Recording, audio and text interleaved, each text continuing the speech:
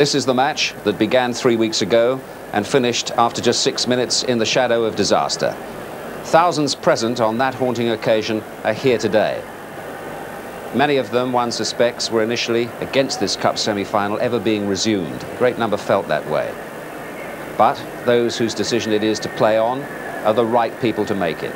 Liverpool Football Club in consultation with those families who suffered in that disaster. So it's play on for Liverpool, the club which has behaved in exemplary fashion in every way over the last few weeks. And they've already given notice in last Wednesday's Merseyside derby that their performances for the rest of the season will in no way be diluted. They'll be as competitive as ever. It's the only way for them to play the game. Good afternoon. A one o'clock kick-off here at Old Trafford today for the semi-final, which always promised to be a classic until the hand of disaster intervened. But no reason at all why it shouldn't be a classic uh, here today. And it will be decided today. If it's level at full time, it'll go into extra time. And if it's still level then, well, penalties will decide the outcome for the first ever time in the FA Cup uh, competition. So Nottingham Forest or Liverpool to play Everton at Wembley on May the 20th. The first ever cup final for Brian Clough or an all Merseyside affair. The story is about to unfold once again. But first, Tony Gubba's been keeping an eye on the preparations for this highly significant match here in Manchester this morning. The spacious concourse around Old Trafford stood empty and waiting at 9 o'clock this morning, with the home of Manchester United well signposted to accommodate two sets of visiting supporters. Liverpool and Nottingham Forest given equal allocations of 24,500 tickets for the reduced gate of 50,000. The first coaches to arrive carried a few of the 800 policemen who it's estimated will be on duty for the semi-final, although the police declined to confirm the exact numbers. But it is thought to be more than double for a normal match. Liverpool's terrace allocation is at the Stretford end, behind the perimeter fences, which Manchester United are not removing. Although all 29 gates leading onto the pitch will be unlocked and open throughout the match, with policemen in attendance.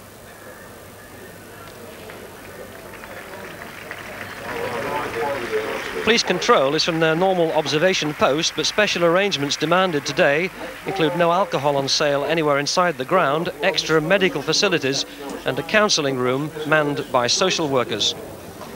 This poster is displayed at every gate, but when they opened at 11 o'clock, two hours before the kick-off, there were barely a handful of fans waiting to come inside, visible proof that the game will be played well under capacity.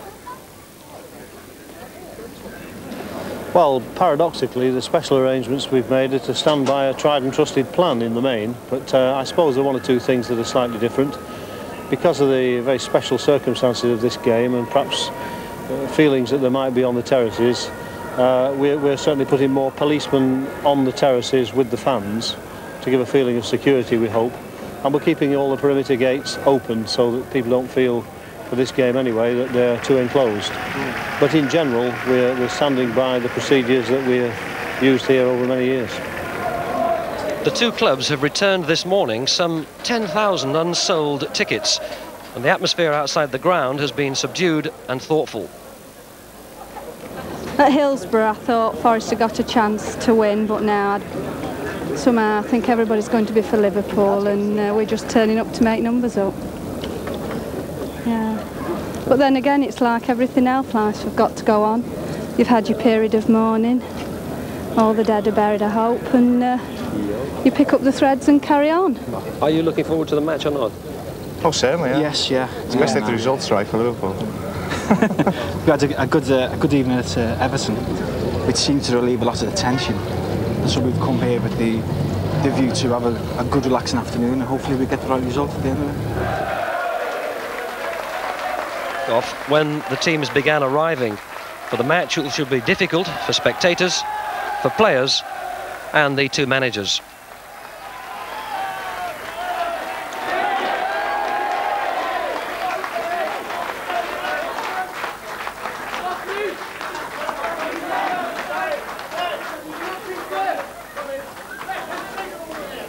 Well, because of the circumstances of Hillsborough three weeks ago, it was entirely inappropriate to show you how a team got through uh, to this year's Wembley Cup final. Everton, of course, did the trick. I dare say very few of you have seen how they did it against Norwich. Let's put that right, right now. Bowen, that's a good run by Crook. Putney, Rosario is in the middle. Up comes Dale Gordon. Oh, he struck it well. Strike, and he thought it was worth the corner, but he's not to get it. They've got caught a bit. Gordon had quite a distance to make. Sheedy was the player who came across. There was only one option, and I must say, I think Dale Gordon is right that he should have got a corner. Seemed to me to get two deflections, the first off Sheedy, the second off Southall.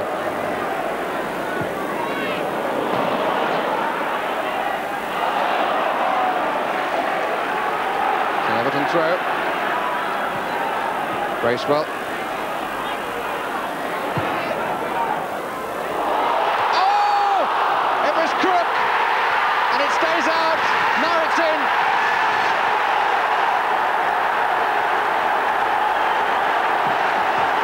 Pat Nevin getting the congratulations. Crook thought for a moment he'd escaped, but the little fellow was there.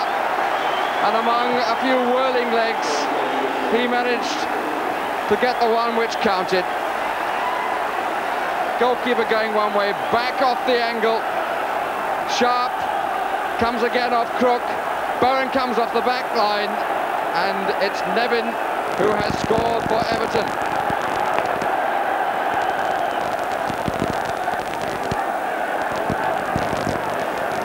Shows clearly from behind the goal. Sheedy who got the touch there, came back off the post in fact.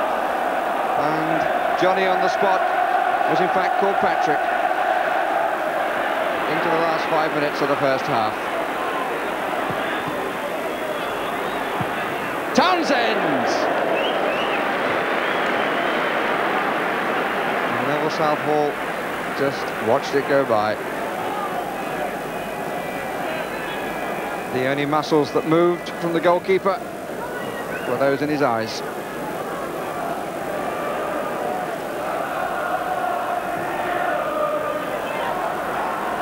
Rosario winning in the air again, but there's always cover behind.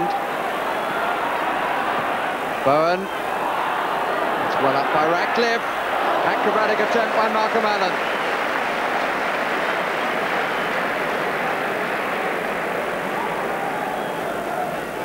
Certainly got his instep all round it. Teasing little ball from Mark Allen, uh, from um, Bowen, and Malcolm Allen with the instep, but Southall right in line.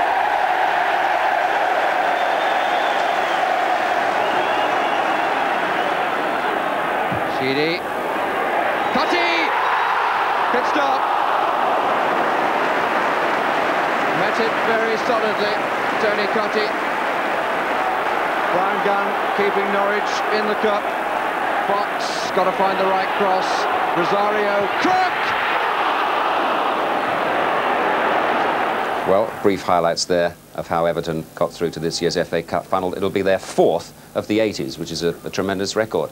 Now, we've just heard here that the kick-off is being put back to 1.15. Uh, clearly, the police are taking every precaution here uh, about crowd control under the circumstances. Uh, a large crowd outside, uh, few latecomers, obviously, and they've put that uh, back a little bit. Well, Jimmy Hill is with us as ever on these big football occasions. And, Jim, uh, things have been learned from Hillsborough, and that's one of them, isn't it? Don't take risks in any way yeah. by putting the kick-off at the exact time you want it if there's still a big crowd outside. Indeed. One of the the, the, tributes that we should pay to those who lost their lives really is to get things right in the future. And already we've seen a circumstance where something has been learned uh, before any results of any inquiry are ever given. Um, mind you, it can't always be done because at the end of the day, uh, everybody realises that if you turn up late, they'll put the game back. You know, they they wait the moment for coming to a game. So there has to be some discipline. But I think uh, they've obviously exercised that discipline today.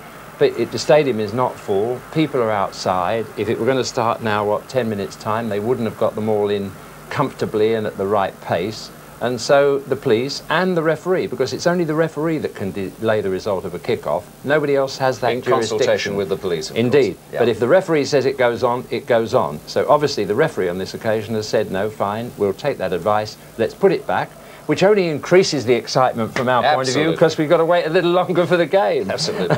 More from Jimmy uh, in a few minutes about the, the build-up to the game and what might happen here this afternoon, of course. But let's just remind you how Forest and Liverpool got to this stage, to the semi-final of the stage, uh, stage of the FA Cup this year. Forest, incidentally, without conceding a single goal. Forest's first three opponents were from the second division. On their own ground, they saw off Ipswich with a goal from Tommy Gaynor.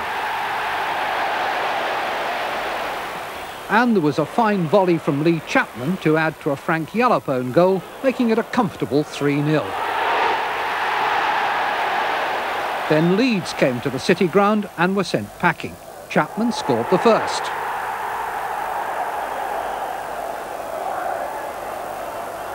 And Gary Parker made it 2-0.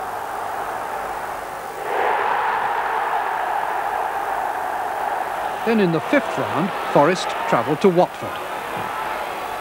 Carr's coming in. Wilson still there. So is Webb. That's his shot. It's in.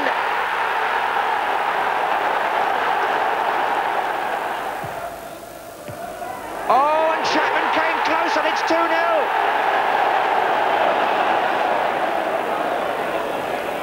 Still Carr.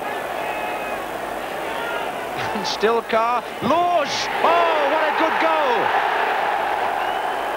That victory presented Forest with a more formidable hurdle, Manchester United at Old Trafford. Gary Parker gave them the lead. And referee Brian Hill decided that they were entitled to keep it, despite United claims that Brian McClair's shot did cross the line. Liverpool, starting at Carlisle, were already leading by a John Barnes goal when Steve McMahon cashed in. That was 2-0 and this is 3-0. Then came some lion taming at the Den. Peter Beardsley was on the bench, but John Aldridge set the tone for a 2-0 victory, and that took them to Boothferry Park, where Aldridge carried on the good work after Hull had taken the lead. Two waiting around the penalty spot. Barnes is over. Doesn't need the touch of Barnes. Oh, Aldridge has levelled the scores. Pressure still on. Aldridge from McMahon. 3-2. So to round six and Liverpool's first home draw against Brentford. The third division side played well, but in the end could only admire the style of Peter Beardsley and John Barnes. His left foot.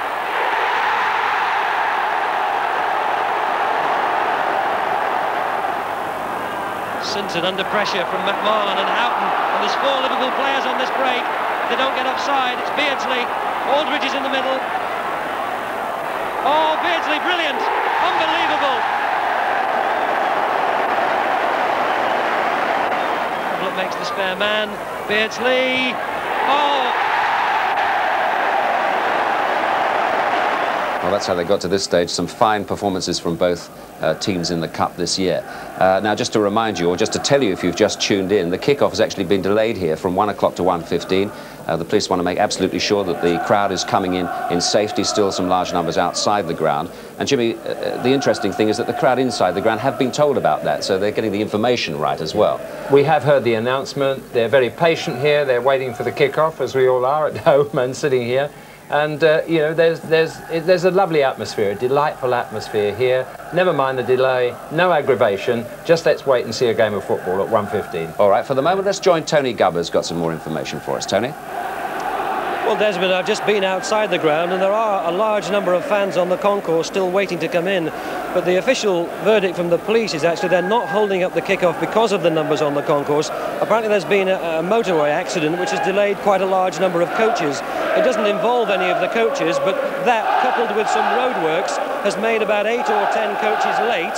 And the police have had a message saying those fans will arrive after one o'clock. And so they've delayed the kickoff because of that. Tony bringing us the, the very up-to-date information about that crowd control, etc., and the delayed kick-off here till 1.15. Now, of course, this uh, match is a repeat of last year's semi-final when uh, Liverpool just about squeaked past Forest. Let's remind you of exactly what happened on that occasion because we've got a little bit of time to do it right now. Barnes. And here's Houghton and Barnes. They're appealing Liverpool. They think that struck a Forest player, but uh, it was a lovely one-two. John Barnes started the move, combined with Ray Houghton, and he tried to finish it with a little curler. One or two shots from Liverpool players, possibly hopefully for hands. Gillespie's header. Beardsley, McMahon.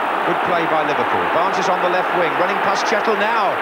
Well found by McMahon. Aldridge is in the centre. Still Barnes. Penalty. Penalty to Liverpool. Chettle was beaten by Barnes' run, and as he came in behind him, Barnes went down, and Liverpool have a penalty kick.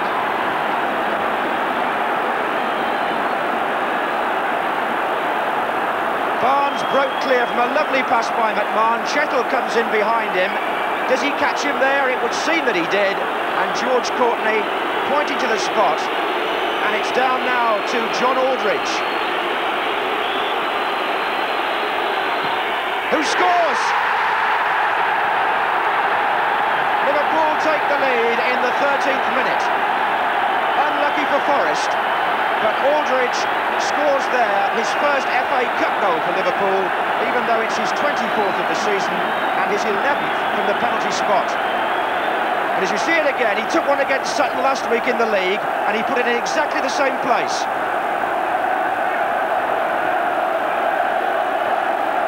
Aldridge not hanging around there, he went for the same side of the goal as last week.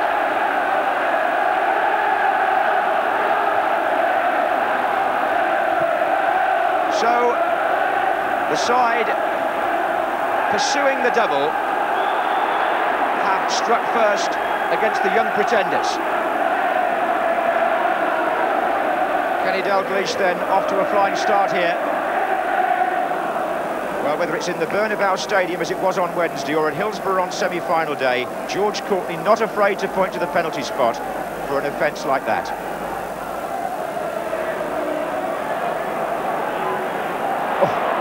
Spackman. Spackman through for Liverpool. Goalkeeper out. And Steve Sutton did enough. It's a goal kick because the ball came off Spackman last. Barnes made that possible again.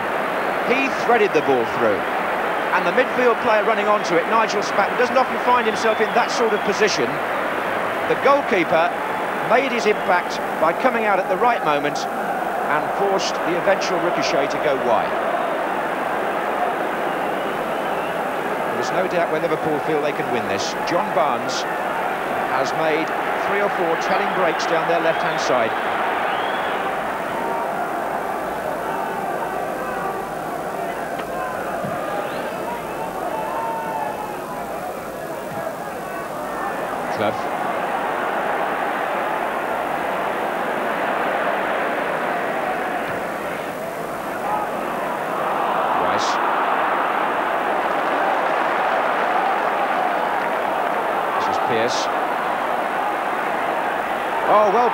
By Clough waits, driven off Hansen. Half away by Spackman, only as far as Rice. And Wilkinson's in there with the header on. Couldn't quite find Webb. And Forest bring both fullbacks into attack. That was Chettle.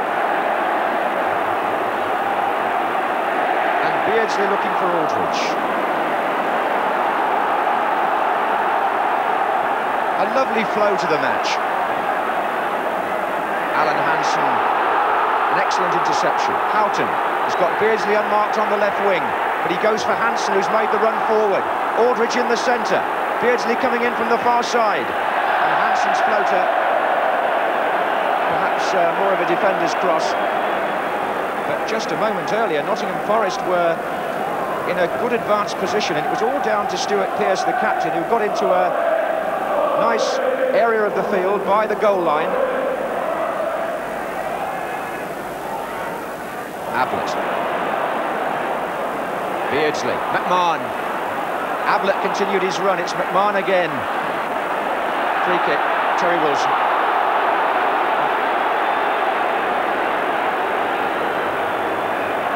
About 25 yards out.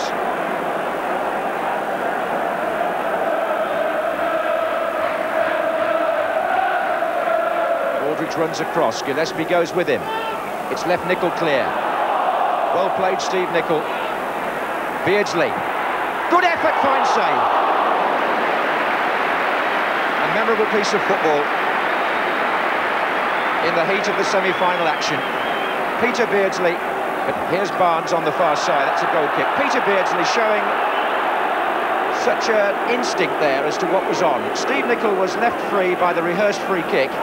It came to Beardsley, and he was so fast to get his shot in, not much backlift, and Sutton knew where it was going.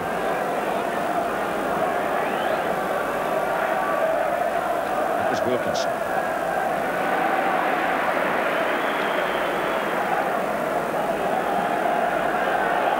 Well, he looks happy enough. And I suppose uh, coming up to half-time, the semi-final looks very much as though Liverpool are exerting their experience, whereas Brian Clough's young team have got to be commended for not folding. They've kept playing their football. And I think he'll be pleased too with a couple of saves by Steve Sutton. Liverpool supporters ending the first half on a joyful note. But there's been plenty to admire from both teams. John Aldridge's penalty, the only goal he was one of three players booked. But Liverpool attacking with economy, Nottingham Forest attacking on a broad front, but it was that run by John Barnes that really made the difference between the two teams in the first half.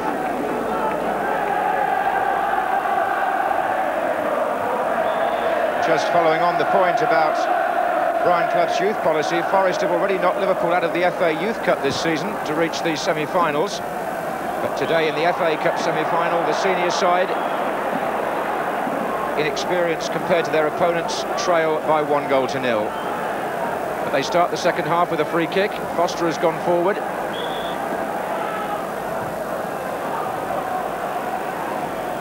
Here's Chettle. And sliced somewhat by Gary Ablett.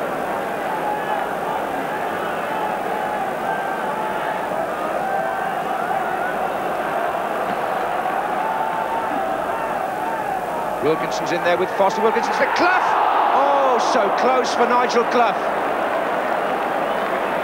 Forest within inches of equalising at the start of the second half.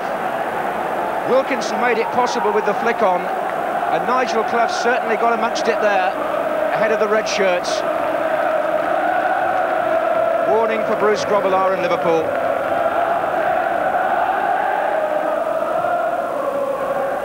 Beardsley.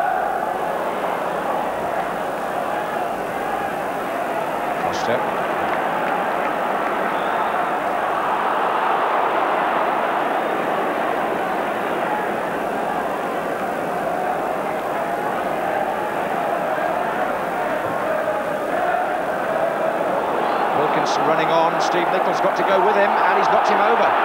Free kick. George Courtney coming up behind them had no doubts. Houghton prevents them from taking it quickly. Foster's in there again. It's Rice to take it.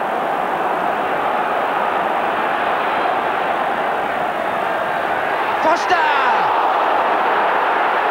They appealed at the linesman, the Forest players. They thought there was some uh, impeding in there, but uh, Bruce Grobbelaar stood where he was and caught the ball.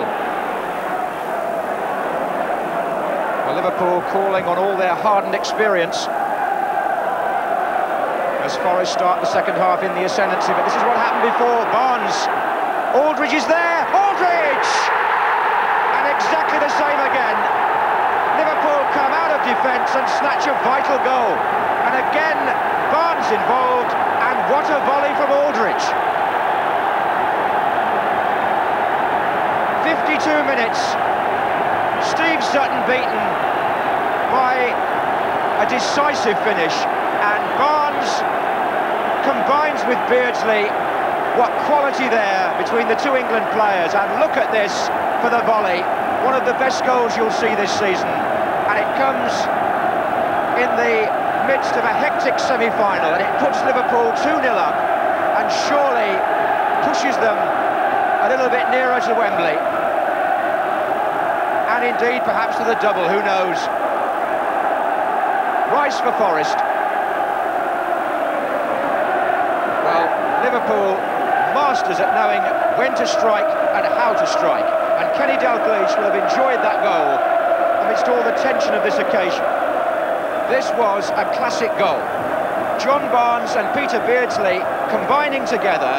Barnes knew where Aldridge was, and just look at the way he put that away. So for John Aldridge now, 25 goals this season. Here's Hansen. Oh, look at Barnes. Walker have to be quick here. Barnes is in, and Beardsley's in, and good save Sutton, otherwise it was 3-0 and all over. They just can't contain John Barnes, and Beardsley linking with him so intelligently. In fact, that's going to be a goal kick, but Barnes' form this afternoon, a testament to the extra dimension he's brought to the Liverpool team this season.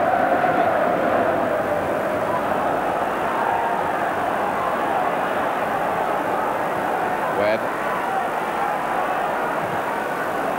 Clough. And Webb again. Came off Ablett. Gillespie away from Wilson. Not decisively so. This is Crosby. Out of play. Throw into Forest. Wilkinson and Foster facing the thrower. Wilkinson.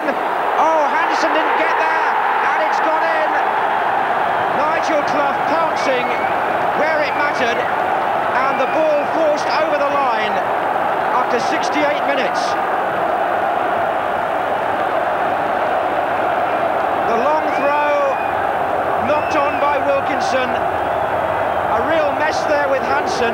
Nigel Clough got his foot in behind the number six and pulls Forest back into the game. 2-1 and by no means over. Well, if you've just tuned in and you're wondering what on earth's going on, that of course was last year's semi-final, which Liverpool won 2-1 to go on and meet uh, Wimbledon in the final.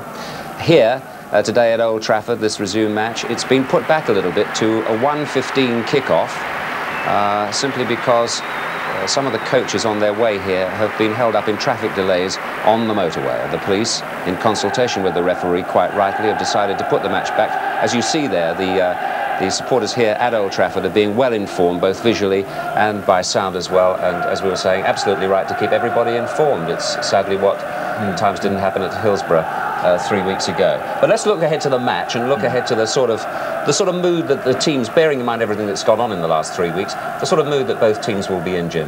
Well, I think they'll have great respect for each other because they, they know the strengths in the opposition. They know it's going to be an extremely tight game today, so uh, nobody's going out there boasting about it. They, they, they know it's going to be the, a slender thread on which the result will at the, hang at the end of the day.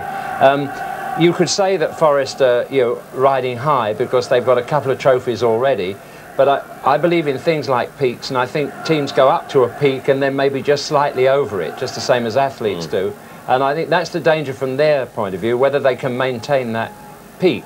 And that canny Clough has sent them home for a week a to rest. situation, though, doesn't he? He's quoted as saying it's a no-win situation for Forest he's, here today. He's had a lot of years managing, and he's learned wisdom and judgment, and he's also learned diplomacy. And you'll see that before matches, he always carefully thinks out what his public uh, know, acclamation is going to be. I mean, when when a team comes to Nottingham, the, the manager is always one of his, the classic stylish managers, and the team are the greatest in the world. You know, they doesn't he doesn't give the team who they're playing any reason to hate them and want to beat them any more than they do already. so that's the kind of thing. We can't win today. Believe me, Brian Clough is thinking of winning. From the moment he got up this morning, he's thought of nothing else. He's thinking of three Wembley trophies in one season, which is a marvellous achievement, and he's thinking of the glory that will come to him and his family and his club as a result of that. So never mind what he says, that's the determination from that camp. I must say that the disaster of three weeks ago seems to have had a sort of salutary effect on both fans and footballers and everybody in the game for the time being. Uh, one hopes that it will last forever, of course. But the fans here today impeccably behaved, of course. I know that most of them were directly involved in that mm. three weeks ago. But one thing I spotted uh, an hour ago was that the players from both teams came on. They normally stay in their camps when they come on yes. the park before. Today they mingle, shook hands. They know each other, of course. But that was well, nice. You see, the moderates, the majority of people in this country, love football as it is here peacefully, you know, no, no enmity really before the game. They've come to see the players perform, not to, not to act themselves, as it were. And what we have to do, we have to create a situation again following Hillsborough where the majority get their way.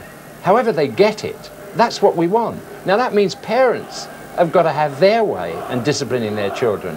We, if we can produce that through the country, we'll begin to get football stadia with this, this kind of wonderful feeling uh, before the start of the game. Friendship, looking forward to a, a, game of football where we don't know who's going to win, nobody can predict it. That's, that was a British way of life of which we are very proud. And, and the only thing stopping us getting back to that is ourselves. Jim, here come the teams now. Kick-off schedule for about five minutes from now. And the same two 11s uh, that began that uh, match at Hillsborough three weeks ago are playing. Team confirmation for you from John Watson shortly.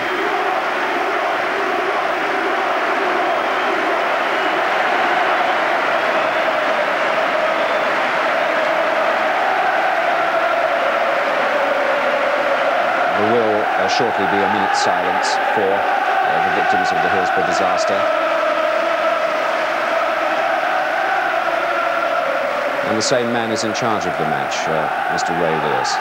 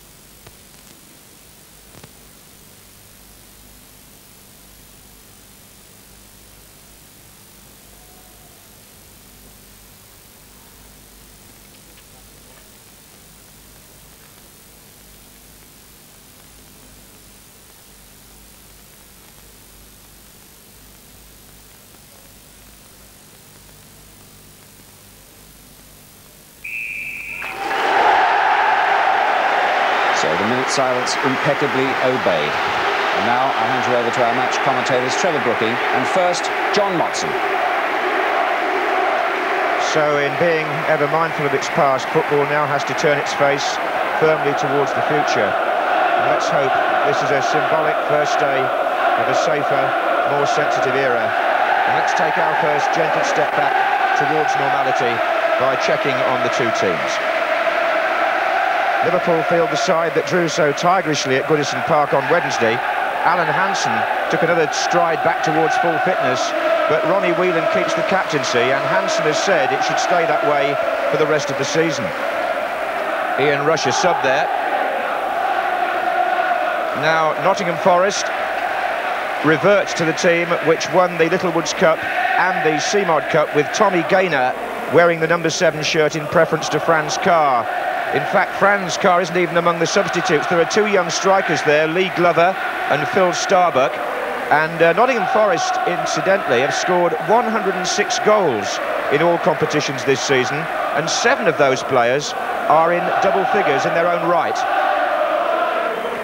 Well, I suppose the main question for you, Trevor Brooking, is as a player, would you expect the two teams to be able to adjust immediately to treat this as a genuine semi-final, or are we going to have an inevitably subdued start? Well, I think the noise of the crowd uh, is a wonderful footballing atmosphere, and I, I, think once now the ball is at the players' feet and they start kicking it around, and once that whistle goes to start this match, you then start concentrating on, on, those 90 minutes or possibly 120 minutes ahead. And I think uh, it is going to be such a, a closely balanced match that uh, really they, they, will put those sort of thoughts behind them and concentrate really on the match. And I'm sure, hopefully, it will be the classic that we always hoped it would be. I think everybody inside the ground would endorse that. I'm told by Martin Edwards, the chairman of Manchester United here, that the crowd looks like being around 39,000. Uh, 12,000 tickets, uh, it appears now, have been returned. More from Nottingham, I understand, than from Liverpool. But we're looking at a crowd of just under 40,000 in this uh, splendid Old Trafford arena. And uh, I think Looking back on that match I saw at Goodison, Trevor, um, it was clear that Whelan and McMahon in the centre of the Liverpool midfield were in terrific form. I suppose that will be a key area with with uh, Ronnie Whelan there playing so well and uh, McMahon alongside him. They were digging in so well for the ball the other night. Do you think that perhaps their battle with Webb and Hodge could be a, a major factor? it will be a major factor. I mean, there's confrontations like that all over the field, but certainly in midfield, Stevie Hodge darting forward, and there Neil Webb, you know, who picks out people so well. There's Stevie Hodge, who, who, as I say, darts forward and really now playing alongside Webb rather than being stuck out wide on the left where he has played a lot of his football.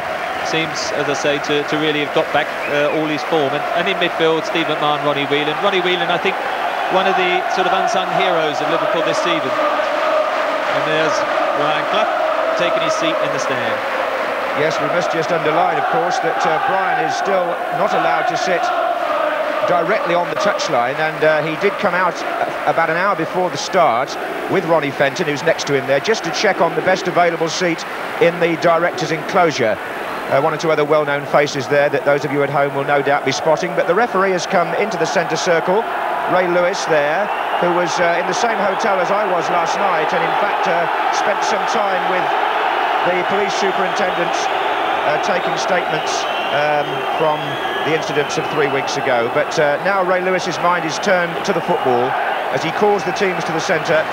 Nottingham Forest all in white.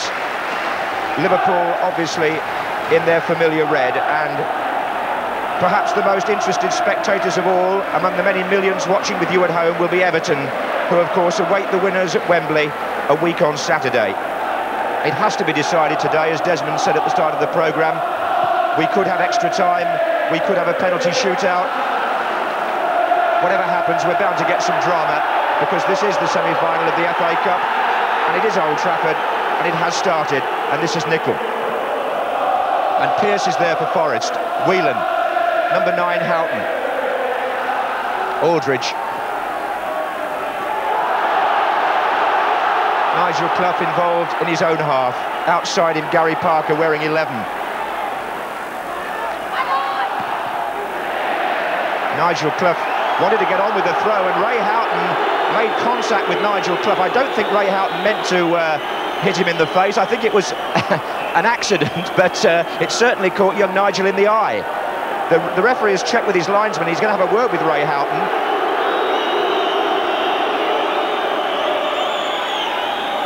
I think there's going to be a, a little apology here, which Ray Lewis will orchestrate.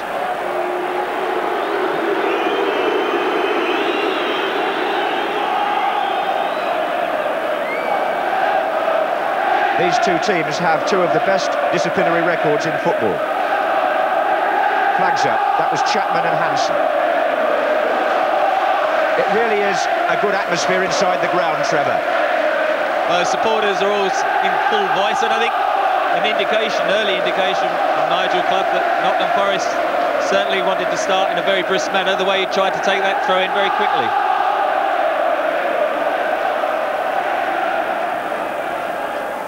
That's aimed at Peter Beardsley. Aldridge is up with him, couldn't find Barnes. Number eight for Forest. Neil Webb.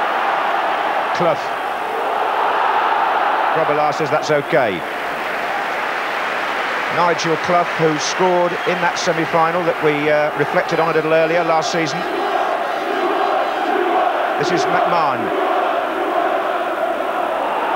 Des Walker and Terry Wilson, a little bit of a tangle. Aldridge, offside flags up against Peter Beardsley.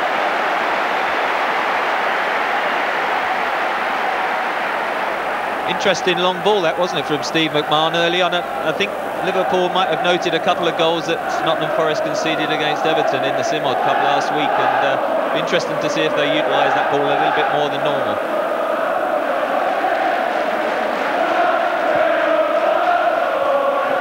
For Liverpool. Pearce.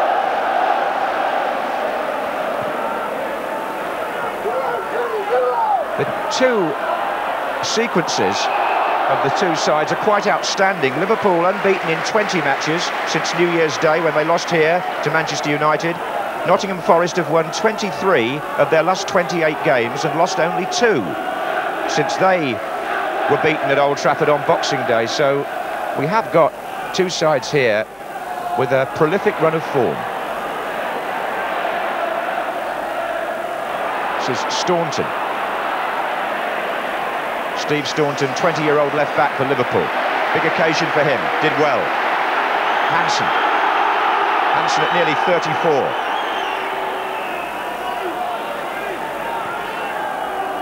Houghton again.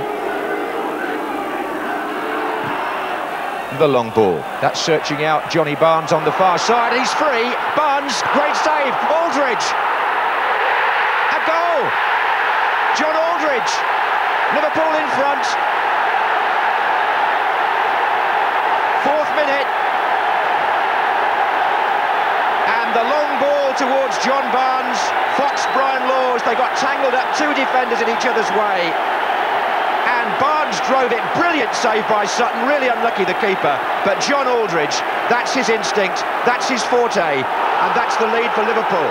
Foul, McMahon spoken to by the referee immediately. Trevor Brooking. Well, a terrible mix-up between Tommy Gaynor, actually, it was who came back. He's conscious that he perhaps should be back there helping Brian Laws defensively with John Barnes, and they got in each other's way, and, and that's how it all developed. So, Forest a goal down in four minutes. Laws. Chapman. There was a, almost time seemed to stand still while that ball dropped from Aldridge's head, and everybody waited, and it dropped in the back of the net, and John Aldridge keeping Ian Rush out of the side, scores his 26th goal of the season.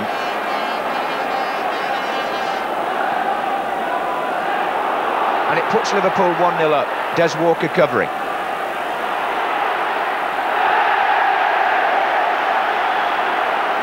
What a start for Liverpool.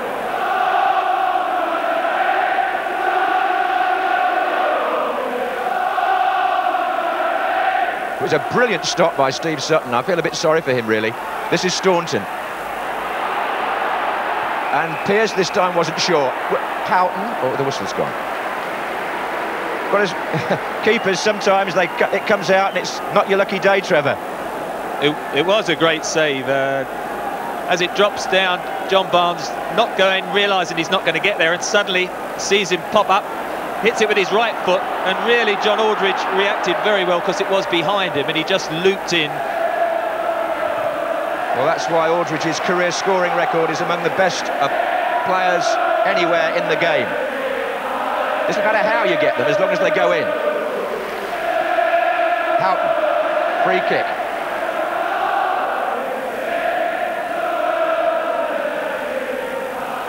In by Houghton. Barnes closes. Oh, it was Laws.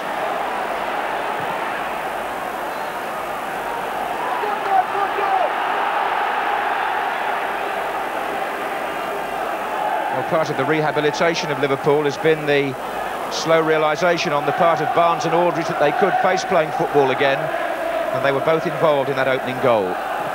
Beardsley to Nicol. This is Houghton.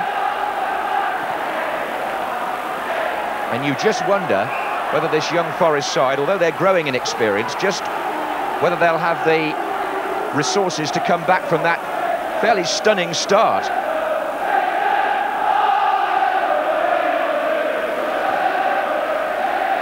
Mind you, they were one down to Luton, weren't they, in the Littlewoods Cup, and they came back to win.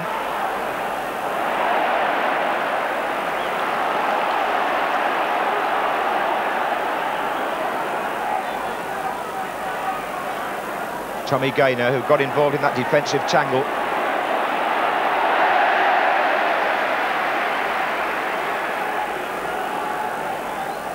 It wasn't the central defenders who were involved in that, it was the two players on the right flank who seemed to get in each other's way.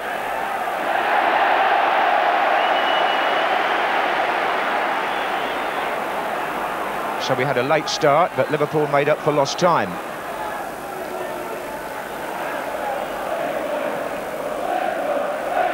And they've started in every way as though they really mean business. That's Nicol. Terry Wilson, number five for Nottingham Forest, the youngest player in the match at 20. Just a little bit younger than uh, Steve Staunton on the other side.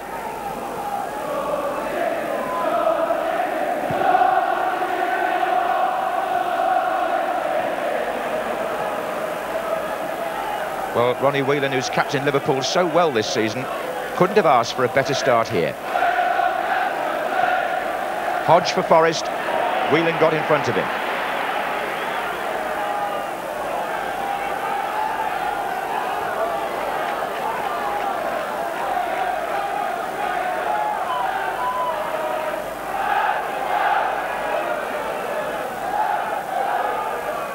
This is Chapman. Clough. Barnes. Staunton looking for Beardsley. Staunton again. Barnes heading it back. This is Whelan. Staunton well forward with the attack. McMahon. Play on, says Ray Lewis. This is Nicol. Forward by Hansen. Forrester being examined on that long high ball, as Trevor mentioned.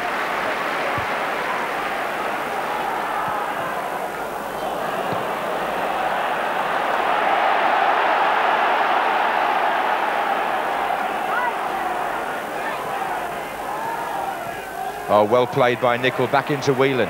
This is Houghton and it's a corner.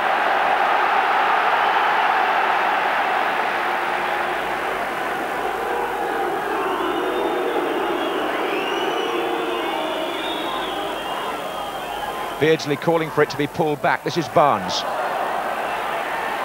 McMahon feeds it in.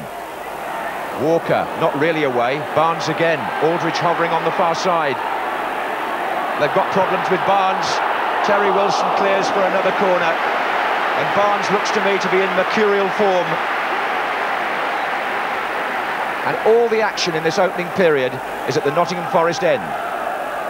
Ten minutes have gone. Liverpool lead 1-0. Aldridge hands on hits on the six-yard line. And the referee is saying the corner must be taken from the other side. So Ray Houghton has gone trotting across.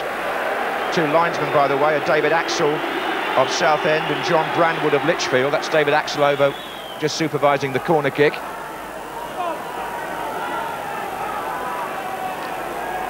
Now Staunton's gone to help Houghton. Neil Webb with the header out. Not very far. Staunton again. Forest can't clear their lines. They're being penned back in. Lee Chapman. Only to Hansen.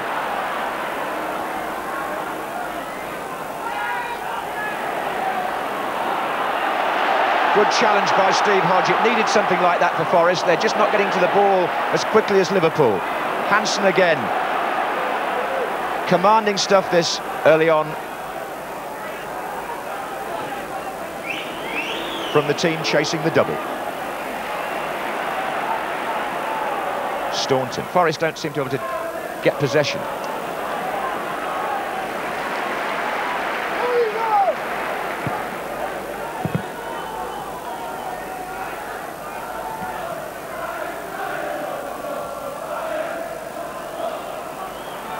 McMahon.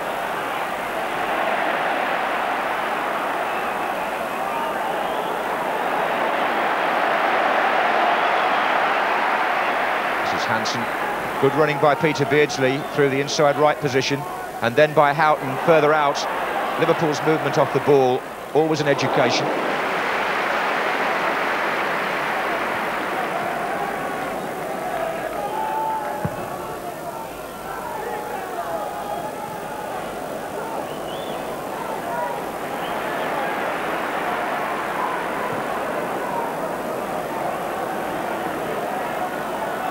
This is Barnes. And Forest are backpedaling. Walker and Wilson are really stretched at the moment because Beardsley is full of movement up there and they're pulling them one way and then the other and now Whelan's made a run and they've got to cover him now and Wilson gets the head to it. McMahon tucks it inside to Houghton and then it goes to Whelan and Houghton again to Aldridge.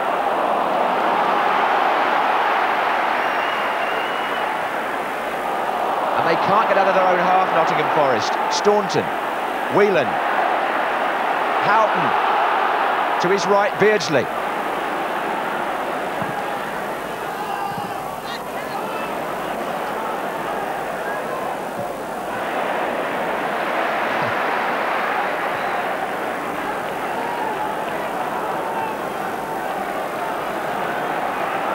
Just moving around from one red shirt to another. Barnes.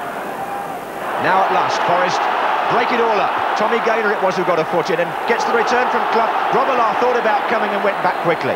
It's Gaynor on the ball. McMahon got to him. Gaynor got it back. Barnes helped out. And that's McMahon again. And the crowd warming to every challenge. Really good competitive play. Steve McMahon as Forest got out of their own half for almost the first time. Brian Laws to take the throw. Webb. And again. Chapman's waiting in the centre. This is Wilson. Pearce.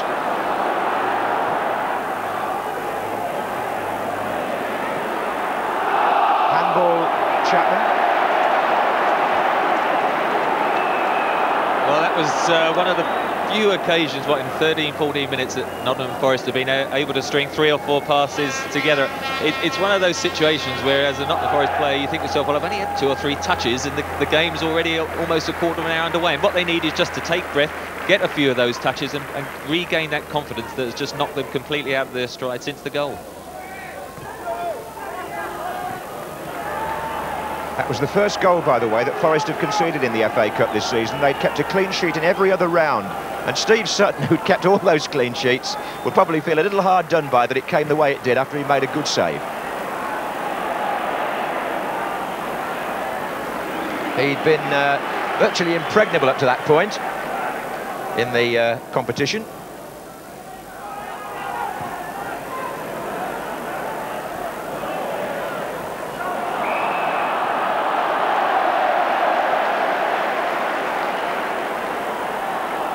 Quarter of an hour gone here at Old Trafford in the FA Cup semi-final. If you joined us late, in fact, the match was late starting anyway, but if you missed the kick-off and the early moments, Liverpool lead 1-0. The goal scorer, Aldridge, with a header after Barnes' shot had been saved. 1-0 the score. Pearce. Parker comes inside Ray. Chapman in the centre, waiting. Good Clough this is. Away by Hansen. Barnes with the header on. Beardsley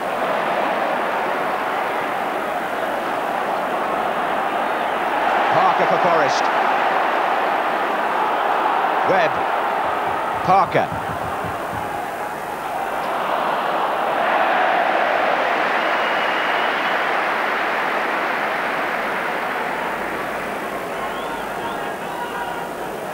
It's a beautiful day here in uh, Manchester.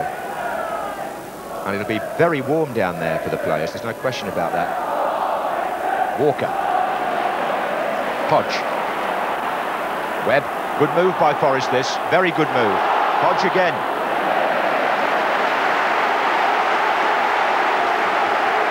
Gaynor to Laws.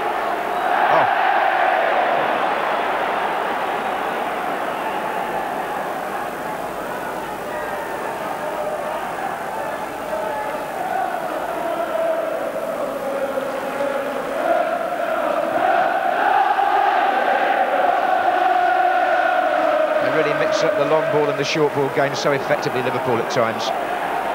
That's uh, one of the uh, strengths of their great experience.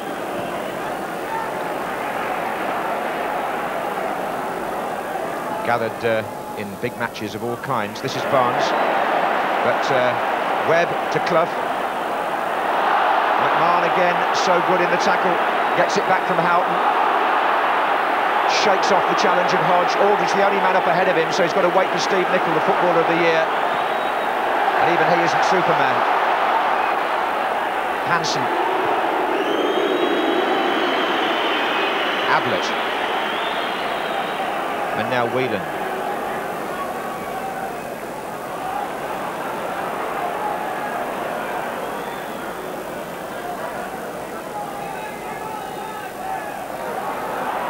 Careless bit of play by Barnes for once. This is Webb. And it's Chapman. Offside, Tommy Gaynor. just beginning to come that little bit into the game now, Nottingham Forest. Get one or two passes in midfield, because it's in midfield where Liverpool took that grip. Steve McMahon and Ronnie Whelan never letting them settle on the ball, and, and they're hustling Nigel Clough, who, who of course has that sort of role of dropping deep and allowing Hodge and Webb to sort of take the space that he's created. Yes, that's interesting. He, he is actually coming into McMahon and Whelan territory there, and, and they're, as you say, bustling him out of it at the moment. This is Staunton. and Walker with the header back. Des Walker, the 23-year-old England defender.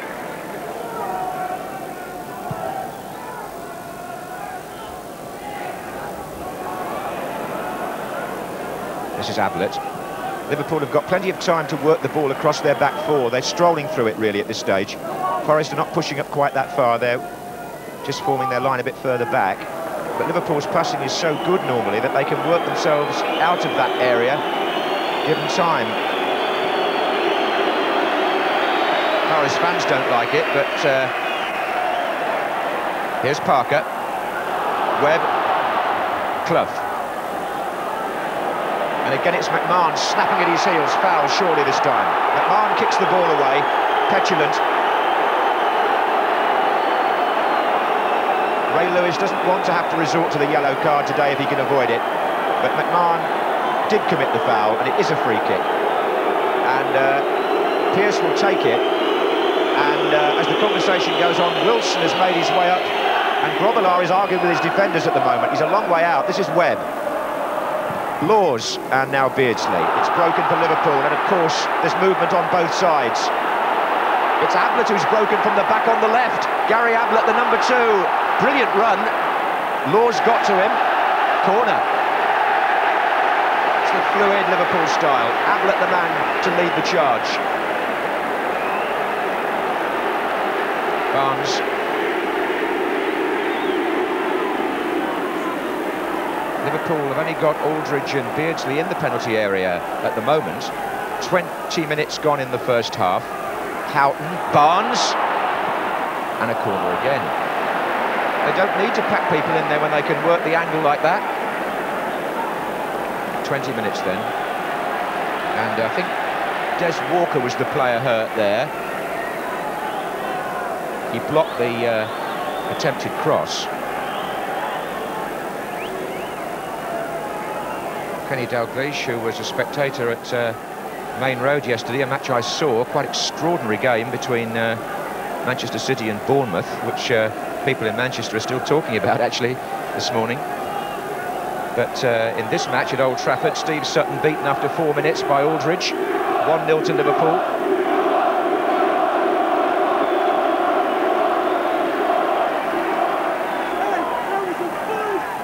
Barnes takes the corner, it's floated. Nicol and Aldridge up together. This is McMahon. And this is Staunton.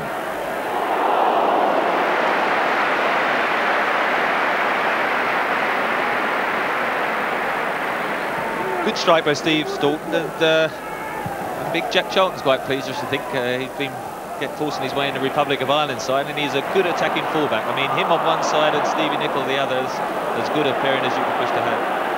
Yes, they're keeping the likes of uh, Venison and Burrows out of the side at the moment. Well, Staunton certainly is, having uh, forced his way into the team. This is Barnes, offside Aldridge.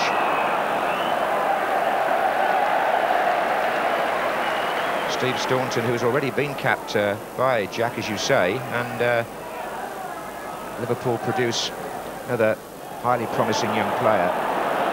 Here's Lee Chapman for Nottingham Forest. Parker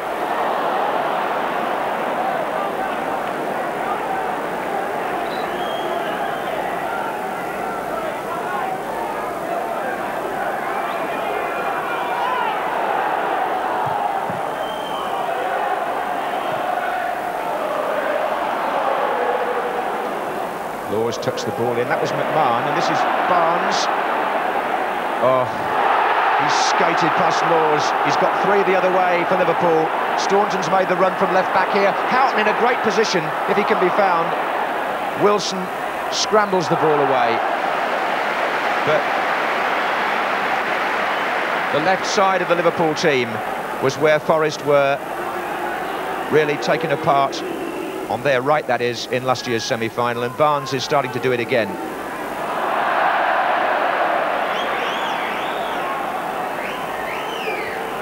Steve Staunton got up with John Barnes there again, and, and at the moment, Staunton and Nicol are getting forward so much that Tommy Gaynor and Gary Parker are, are, having to defend back in their own half, and they're never getting forward to support Nigel Clough and Lee Chapman. And, and unless those two wide midfield players can get the, two Liverpool fullbacks going back towards their own goal, Nottingham Forest are going to struggle to get into this game.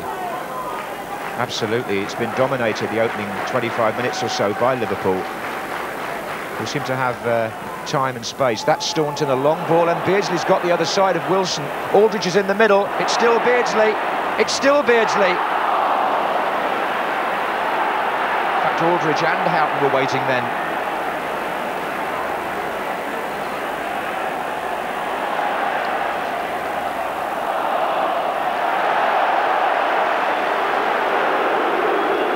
Long ball tactic has caused problems, hasn't it, to the uh, Des Walker and, and, Terry Wilson. There's, there's no doubt the goals they conceded against Everton have, have been watched by Kenny Dalglish, and it's a tactic he's decided that they're going to try and exploit today.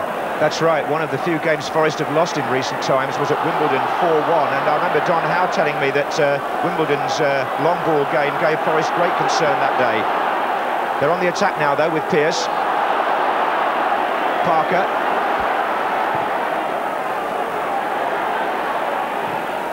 Webb trying to bring some method to the Forest play. This is Pearce. Webb again. Now Clough, a nice little turn. Tommy Gaynor out right. Miss hit it.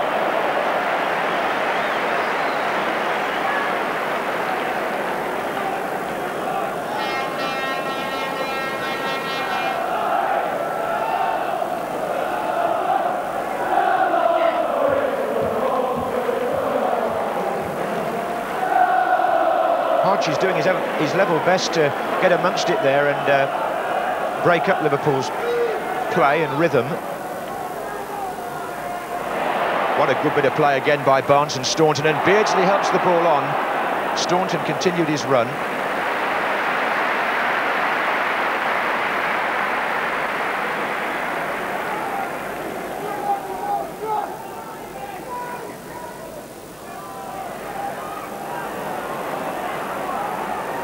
Hodge. Foul. By Beardsley. For any uh, latecomers, Liverpool lead 1-0 in this semi-final. The scorer, John Aldridge, after four minutes. This is Webb for Forest.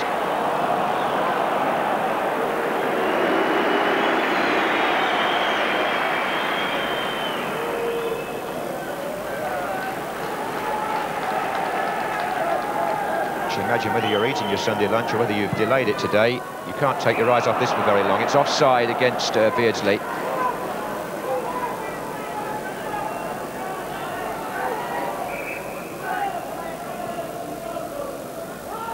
Not the first time a semi-final has been played at this time of day. There was the uh, similar situation, was it two years ago, Coventry and Leeds. This is Webb.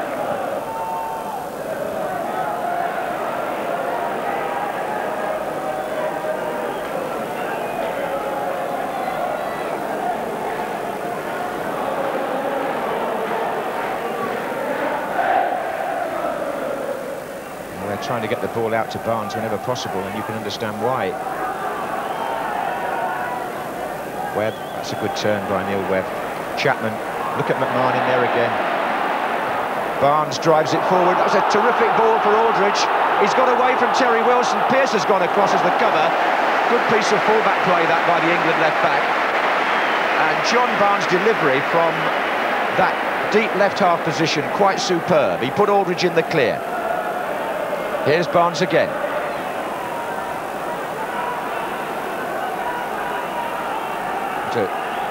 Smashing past that.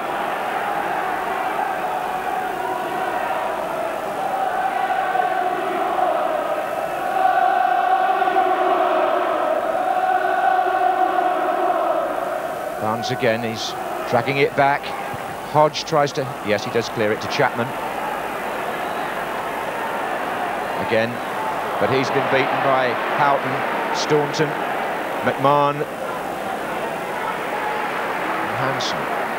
Again, the play strung out in the Nottingham Forest half. That's been the pattern.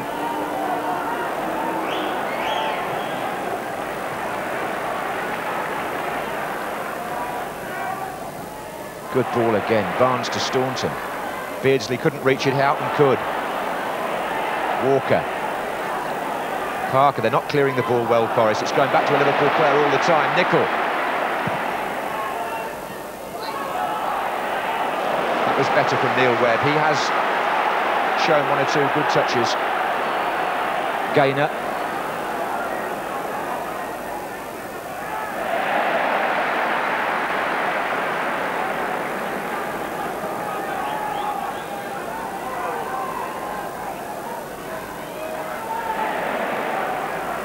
Nigel Clough and Ray Houghton.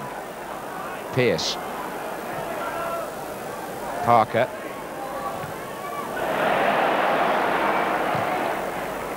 Aldridge looks for Nicol, Walker across.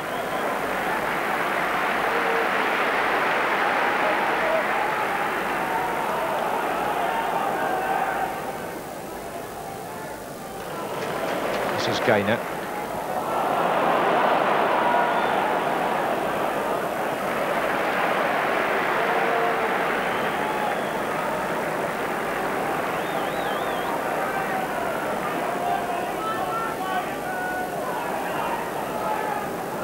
Think the uh, temperature down there on the pitch is uh, very high, and I would think the heat may affect the way this game is being played. I honestly think it's Liverpool particularly is slowing it down because the shirt-sleeve crowd reflecting just how hot it is here in Manchester, and uh, these players could be out there for quite a while.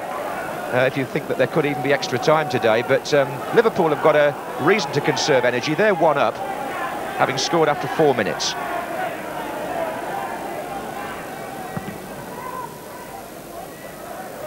It's almost like watching a World Cup match in uh, the middle of summer at the moment.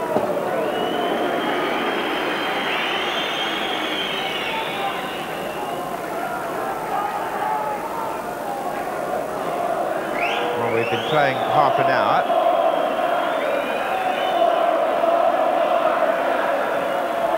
And the feature of this opening half hour, the combination here on the left of Staunton and Barnes. Broken up this time by Webb. Up here in the commentary position, it's 76 degrees. So uh, what it's like on the pitch, I don't know, but Trevor Brooking and I have both got our jackets off because uh, it's real cricketing weather this, Trevor. Well, it is, and uh, I can assure you it's Nottingham Forest will be feeling the more tired because Liverpool have played great possession football and when Nottingham Forest just have to run around without getting a touch of the football, I can, I can assure you, you feel a lot more tired. But here's a touch for Clough. That was the first hint of an opening for Nottingham Forest, and Liverpool's defence parted a little bit there in front of Grobbelaar.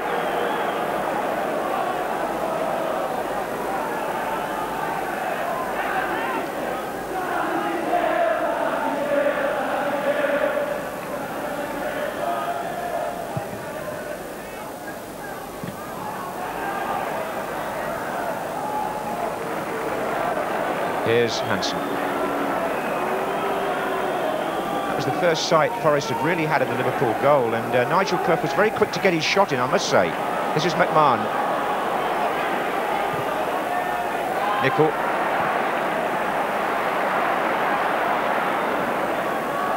Barnes. He's coming inside this time. Beardsley. Hodge stepped in. Well,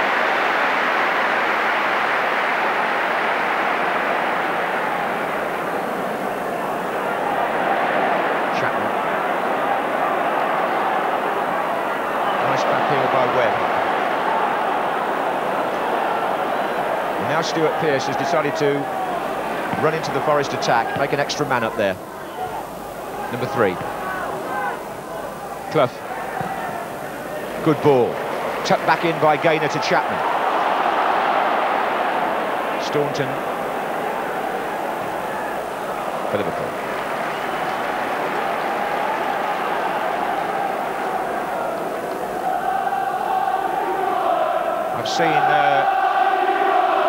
Some spectators affected by the heat and uh, it's noticeable how quickly the first aid uh, facilities have been uh, activated. There's Chapman. Oh, McMahon made a mistake and Clough couldn't quite get there and Webb had a deflection and that's gone in. It's a goal for Nottingham Forest. Grobbelaar, I think, was deceived by a deflection from Webb's shot and Forest are level in the 33rd minute. It came from the throw-in, and this was unexpected. Lee Chapman got a McMahon's error, really. It comes back to Webb, he strikes it against the post and over the line. Grobbelaar couldn't grab it, Trevor. I would have thought Bruce Grobbelaar saw it very late. It came through a, a lot of legs there. And uh, good strike by Neil Webb. And of course, uh, it was a long throw-in, which in fact in fact brought Nottingham Forest back into the semi-final last year. They they got Nigel Clough a toe in then. But Liverpool will be uh, a little bit shell-shocked because having played so well to suddenly find themselves level uh, will be very disappointing.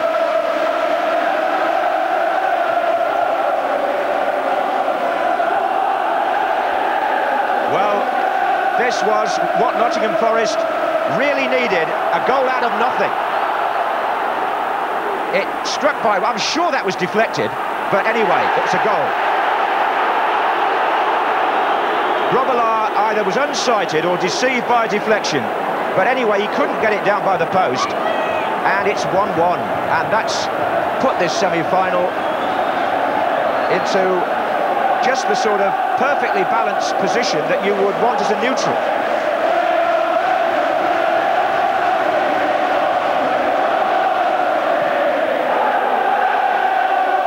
Barnes.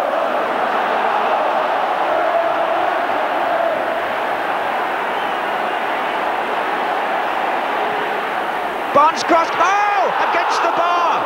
Aldridge.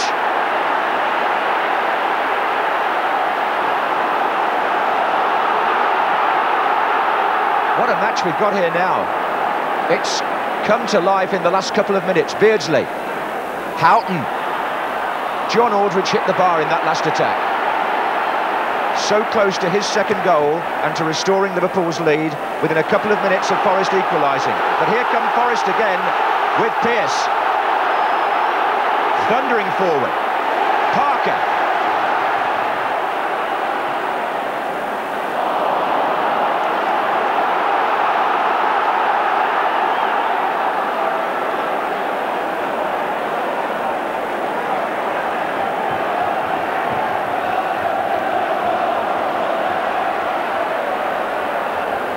This is Nicol. Good cross again. And Barnes, it hit his own player, Aldridge.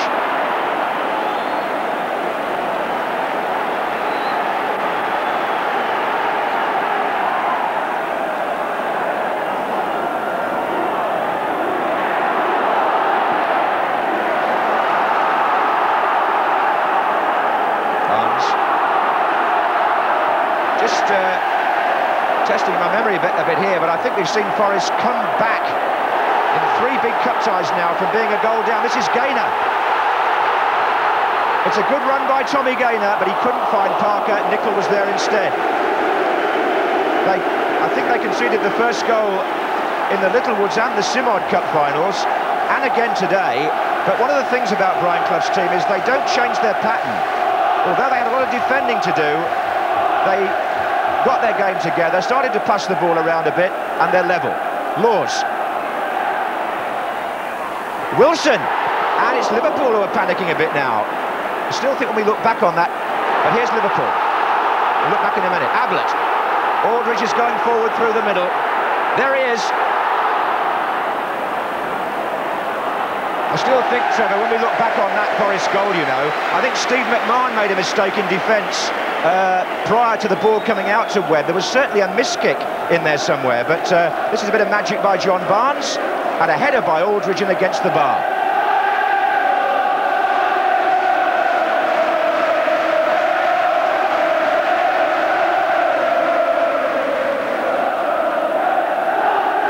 Seven and a half minutes left in the first half. Liverpool 1, Nottingham Forest 1. Aldridge for Liverpool, Webb for Forest, and then Aldridge against the bar.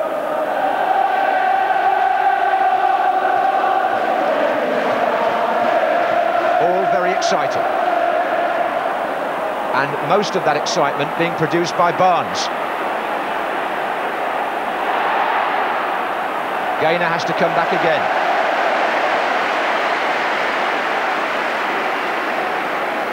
I remember, it seems an age ago now, at, uh, in our Sports Night programme, Don Howe uh, previewing this semi-final, making the point that uh, the long throw, as Trevor Brookings said, which caused Liverpool to concede a goal in last year's semi, has worked again here for Forest. The long throw and the flick on, and the little panic that ensued, gave Webb the opening. McMahon. This is Staunton. And this is Barnes. These two have a telepathic understanding now. But Beardsley obviously hasn't for the moment. This is Parker.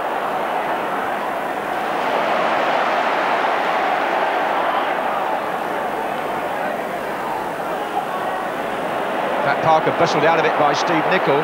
And again they look for Aldridge on that through ball. Beardsley Barnes. Oh, look at that round the back again. Not a not a particularly good cross by his standards, but uh, again he found space on the outside. That's a foul by Hansen on Clough. McMahon is again angry. Just think Steve McMahon is so hyped up, Trevor, for this game that he's just letting his uh, feelings run away with him a couple of times. I think referee Ray Lewis is doing very well. He's just trying to take the sting out of it. Naturally enough, there's a lot of tension and bit of frustration, I think, from Steve McMahon that they've conceded that goal just when they seem to be controlling the match. That's what makes football the wonderful game that at its best it is. You just can't tell. It was uh, very much Liverpool's match for nearly half an hour. Now there are five minutes left in the first half and it's anybody's game.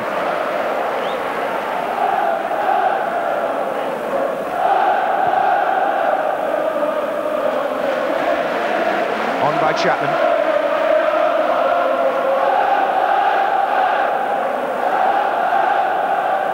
This is Nicol.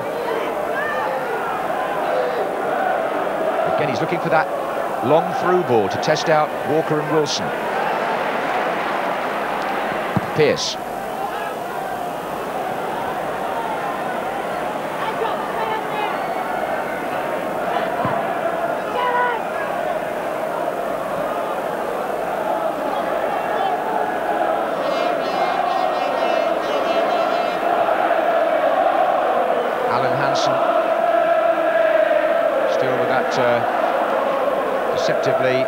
Leisurely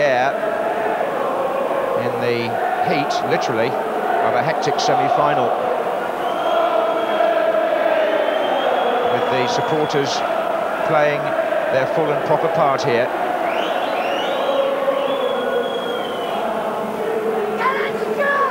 And Hansen finds Beardsley.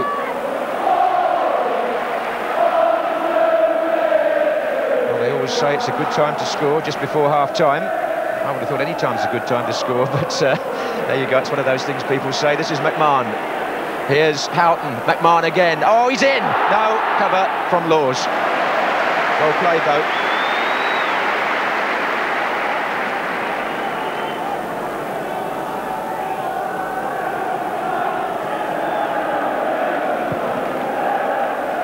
Well, Steve Sutton didn't have a lot of luck on the goal, but he got a bit of luck when Aldridge hit the bar, so perhaps uh, that's evened itself out a bit at that end. Three minutes left in the half in the FA Cup semi-final. Everton awaiting the winners. Liverpool won, Forest won. It has to be settled today. Forward by Hansen. Beardsley with Wilson, free kick to Forest. What are your overall impressions of this half, Trevor?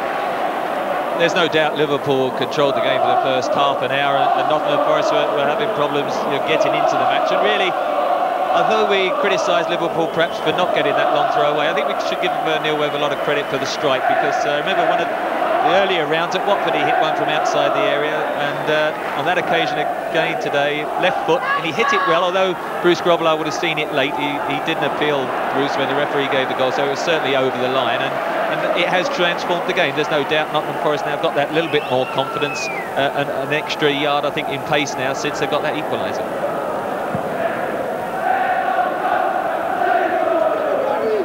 Barnes. And this is Beardsley. Mistake by Walker for a moment. Aldridge is in. The whistle's gone already before the appeal for a penalty.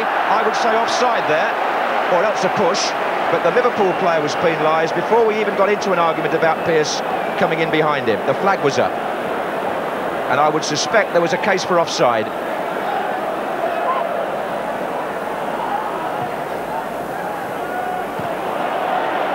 Houghton. They're just trying to jab that through ball all the time, either side of the uh, centre-backs. Webb, McMahon, free kick, and now they're squaring up.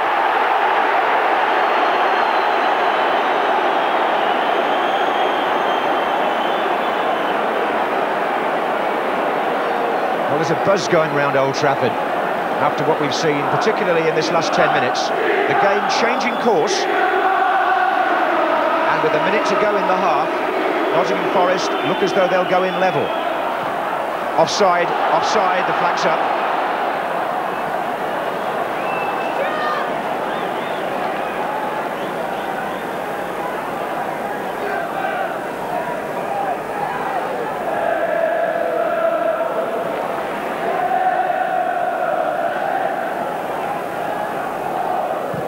And again the long ball from Hansen. Again the header by Wilson. Webb. Tommy Gaynor. It's Ablett.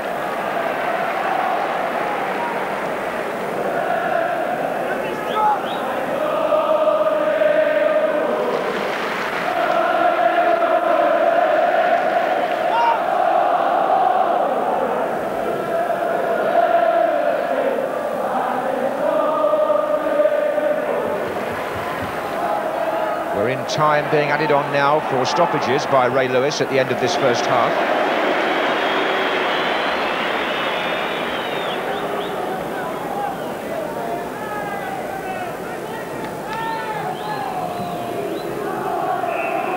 And there won't be much of that. So, half-time in the FA Cup semi-final. Liverpool won, Kenny Dalglish's team off to a flyer, but Nottingham Forest coming back on 33 minutes to level things. After that, Liverpool hit the bar. Plenty of activity, plenty of incident. The score's level. Well, splendid half, football in the sun, everybody enjoying themselves. This is what it should be all about, Jim. It was worth waiting 15 minutes for, wasn't it? An extra one. Absolutely, even Stephen. Uh, I would say that Liverpool had the edge in that first half, as, as Trevor did. I mean, they made most of the running and they had uh, Forest on the rack for most of it. But when that happens and you've done all that huffing and puffing and playing really well, Barnes has been in delightful form and uh, it's a pleasure to say it really about Liverpool because we have watched cup ties where we didn't think they did all that well. But today, a pleasure to see them produce the kind of football they've been producing. The danger from their point of view, they've let Forest back in the game and over the last 15 minutes or so, they're still attacking, but I think they might run out of puff and Forest will come stronger because Liverpool have had the edge and not and are not leading. So you know, um, if you if you were measuring at half time, I'd say that enables Forest perhaps to turn it the other way in the second half. Thanks. Uh, two goals to look back on and a couple of attempts as well. We'll do that uh, in a moment or two. But for the moment, let's look back on some of the splendid goals that the FA Cup Series has provided this year.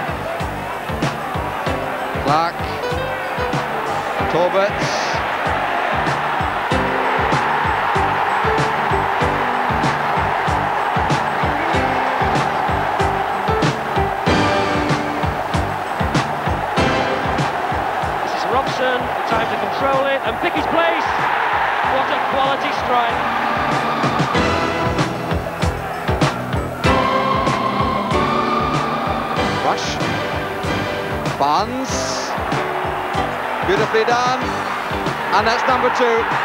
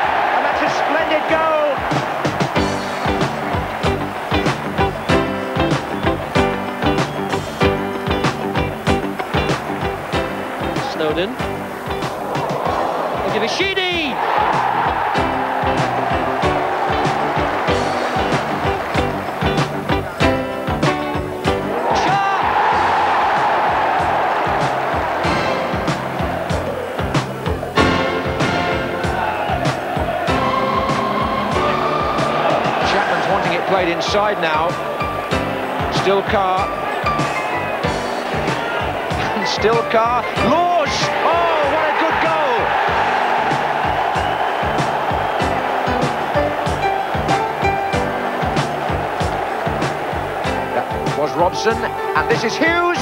That's a wonderful finish.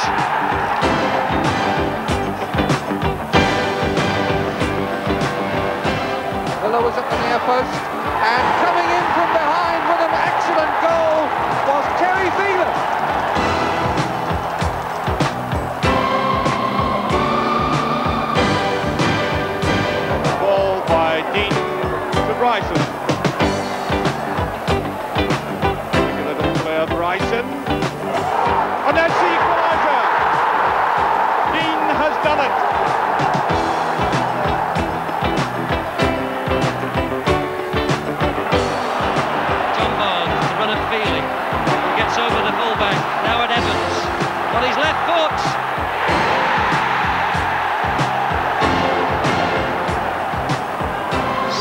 pressure from McMahon and Houghton. And there's four Liverpool players on this break. If they don't get offside, it's Beardsley.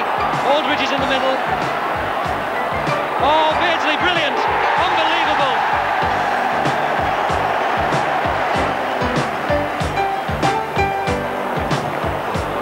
McCall, the space here.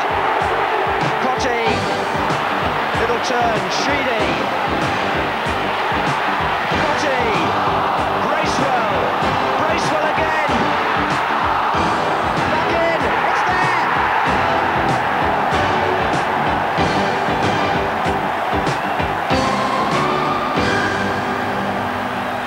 Everton, of course, waiting for the winners here today. Forest Liverpool 1-1 at half-time. Take a close look at this. You don't see shirt sleeves in Manchester that often. But uh, what a great start for Liverpool today.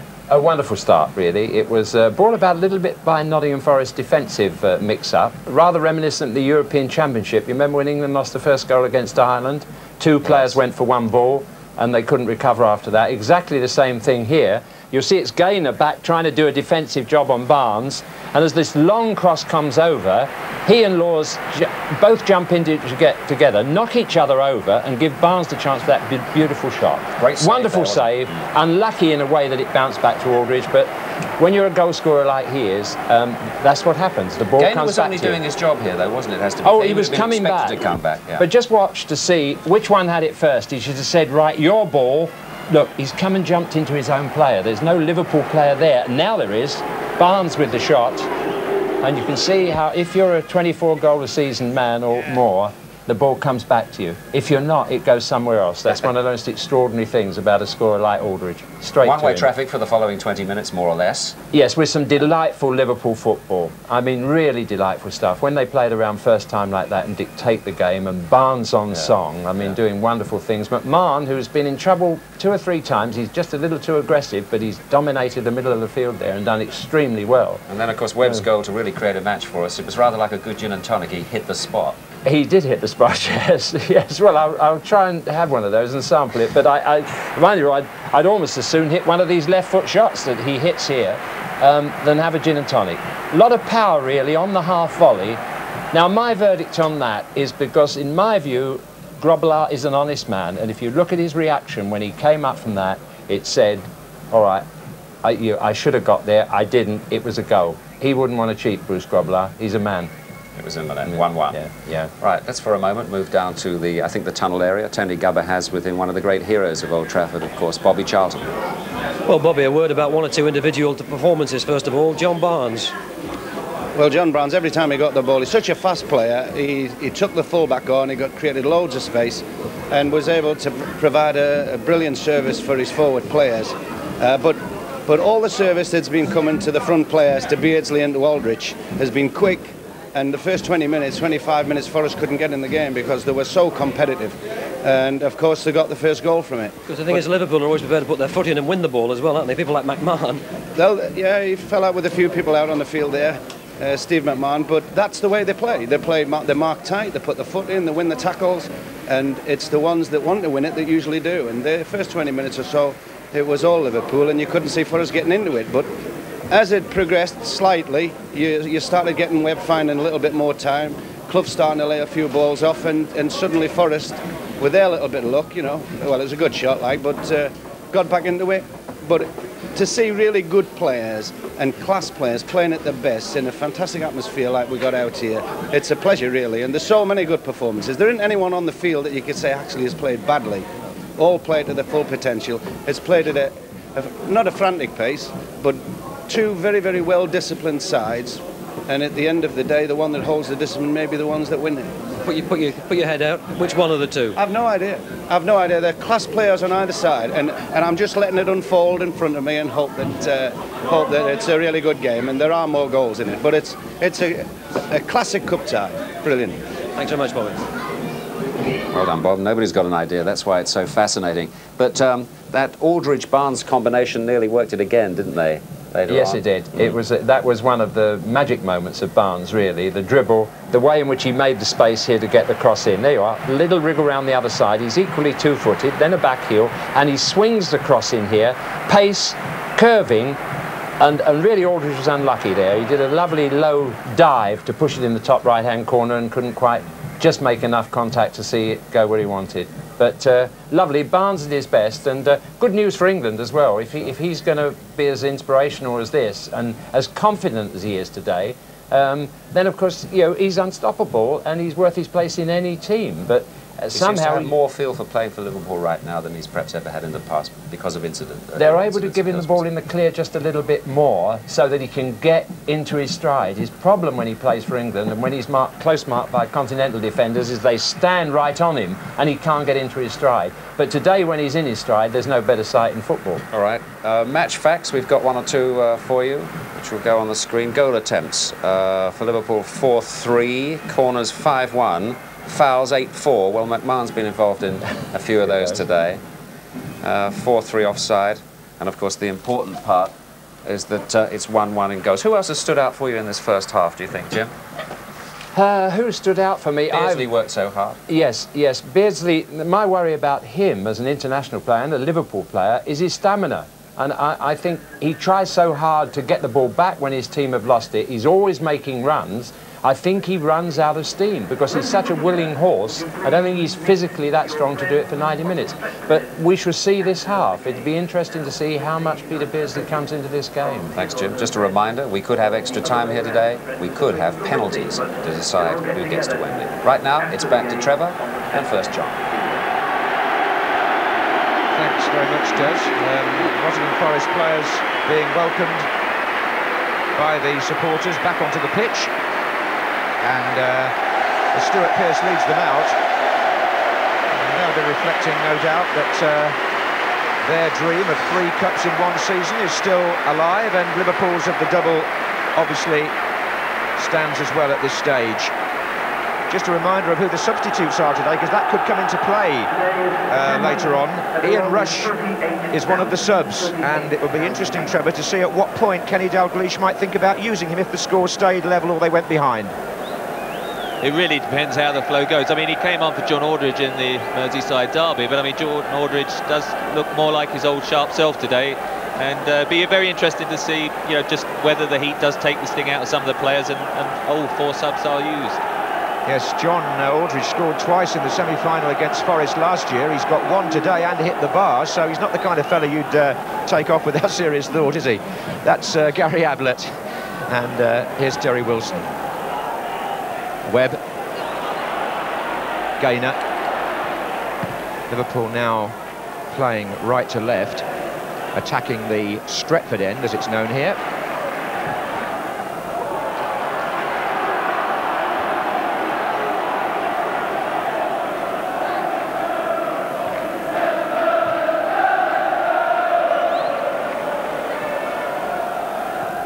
told that the crowd is around the 38,000 mark. An indication that uh, 13,000 tickets were not taken up for this match.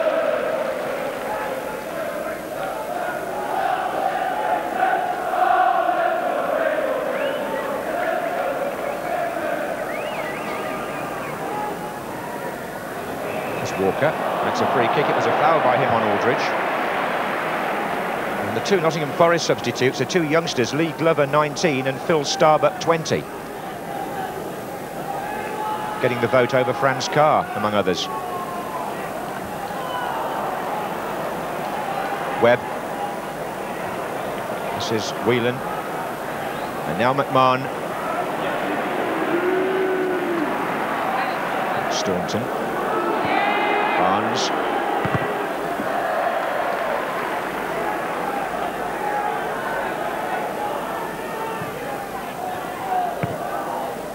inside to McMahon. And this is Beardsley.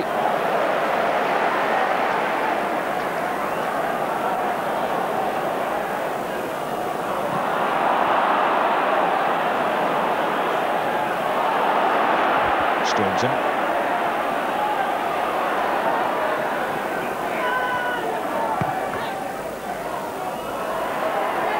Gaynor and Barnes tangling. It's all a bit tight there. Staunton for Liverpool. It'll run on for Houghton. Shot struck Walker. Nicol. Really good play by Steve Nicol.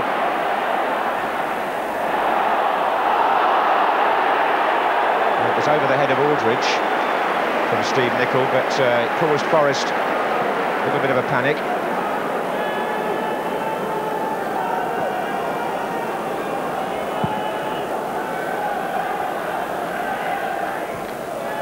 Here's Webb.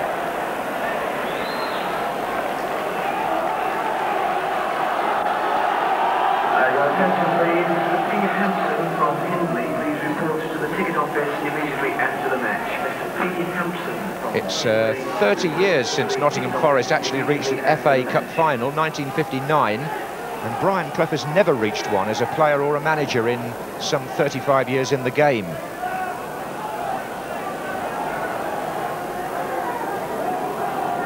Alan Hansen, the man on the ball, is playing his 11th FA Cup semi-final match this afternoon. Just goes to show the amount of uh, times Liverpool have been involved at this stage in recent years. Here's Whelan.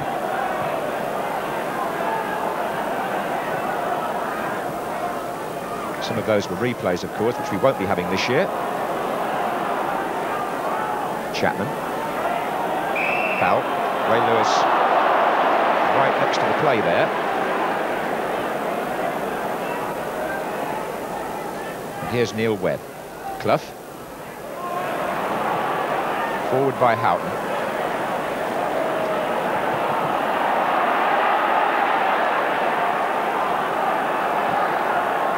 Barnes. Beardsley. On, good running. Beardsley again. Jackson throw.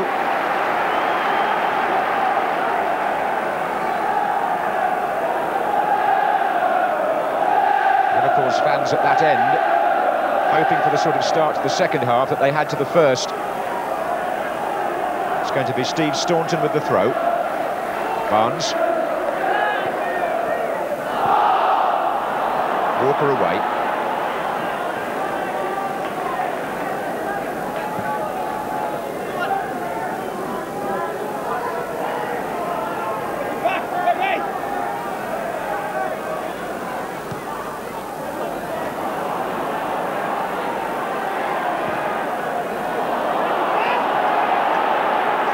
gone in the second half. It was Brian Laws who lost the place there for a moment. This is Whelan. Nicol. Hodge was snapping in a little bit, so was Parker, trying to restrict Liverpool's movement there in midfield. Pearce with the header.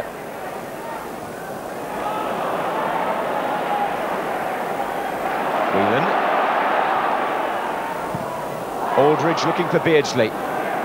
Walker wants the ball to run, and Beardsley settles for a throw.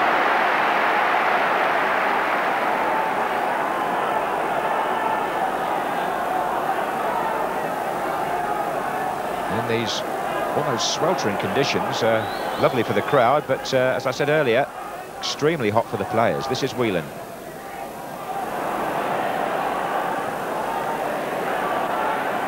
Houghton.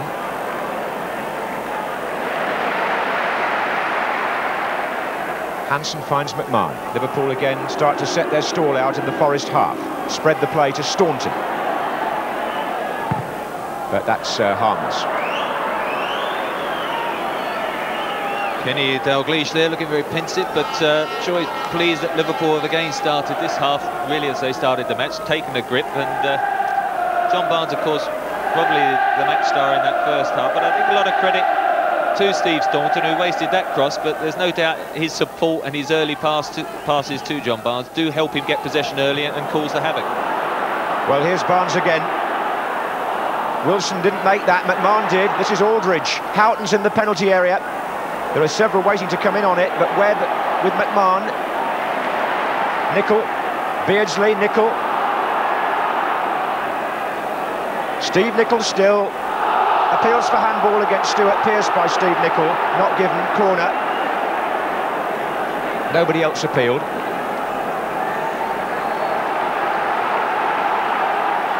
Nicol again. McMahon.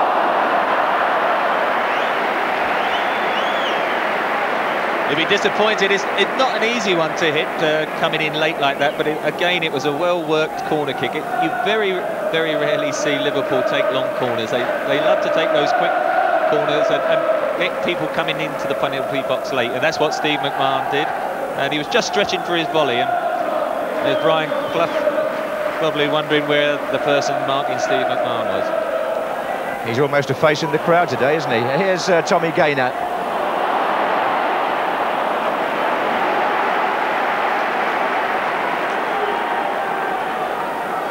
Actually things taken care of pretty well further down there on the bench by people uh, like Liam O'Kane, but Archie Gemmill on the staff as well, of course, former Forest player.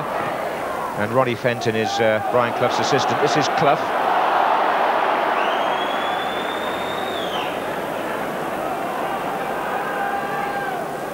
Ablett. And Staunton, who's played so well at left back in uh, his first match of this uh, magnitude in many ways.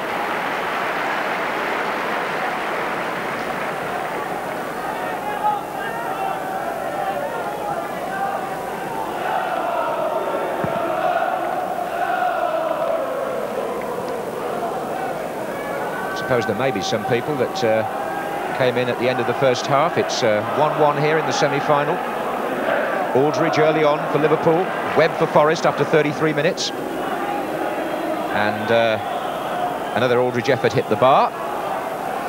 But we still are no nearer to knowing who plays Everton in the final a week next Saturday. That's a long ball by Staunton. Aldridge climbing a bit on Walker. Well, more than a bit. Webb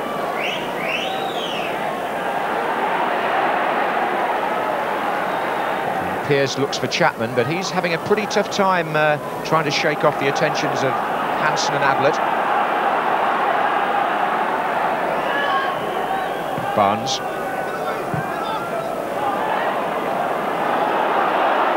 Terry Wilson having a quick look up because Aldridge was cutting off uh, the back pass.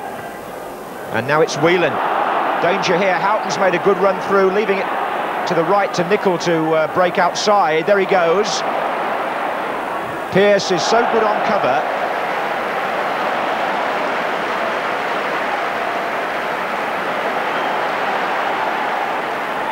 And Hodge, nice and tidy. Parker to Chapman. But he wanted a bit too long in his turning circle really there and he'll be quite glad to get the free kick. 10 minutes gone in the second half. 1-1. And uh, Staunton again beats Tommy Gaynor. This is Barnes. Through the middle, Aldridge chasing. Mistake by Walker. Aldridge, great save Sutton. Aldridge again. Can he pull it back to Beardsley? No, he can't. Corner. Houghton actually would have been a better choice. He was screaming for it, but uh, it's so easy from up here. Sutton takes credit. Good save.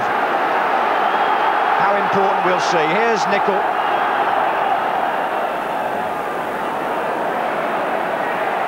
Nicol's cross. Oh, and Sutton had to pour at it. Just got a hand. Staunton. Liverpool turning the screw. And Forest get the ball away, but uh, that long ball through the middle again caught out uh, Des Walker, and John Aldridge got in behind him.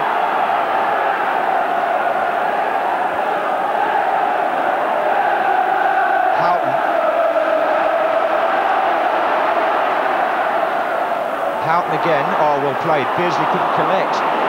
Liverpool are threatening to do damage again. Whelan. Beardsley.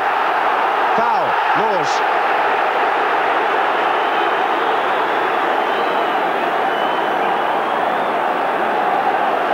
Well, Steve Sutton is a very busy man just now. McMahon. This is a great cross by John Barnes, headed away by Neil Webb, and the crowd seemed to sense, the Liverpool section that is, that this could be the moment. There are times in matches when Liverpool quite distinctly move up a gear, and this is one of those moments now. Houghton. Barnes again. Houghton. Beardsley. Oh, it's got in! Tommy Gaynor couldn't stop Aldridge getting in, and Liverpool are back in front.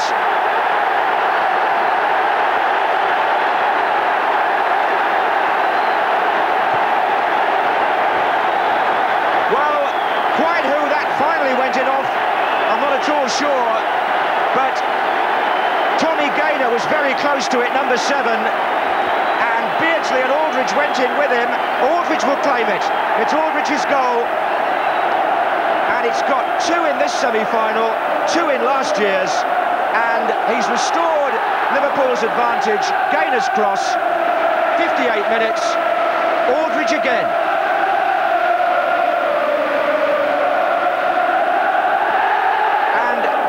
Said, Liverpool looked as though they were going to score. They were right on cue.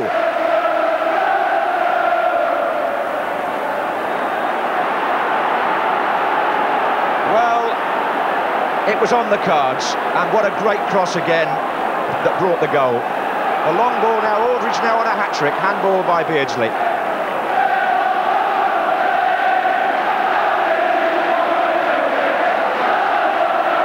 Good header by Aldridge, actually. Be, there were three of them up together, but he made it his. What an outstanding goal-scoring record John has got. A real scouser. And Nottingham Forest have to take some action. Tommy Gaynor has been pulled off. And Phil Starbuck, 20 years old, Nottingham born, number 14, gets a chance in the semi-final.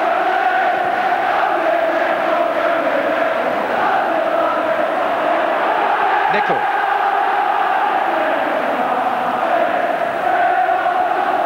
Houghton.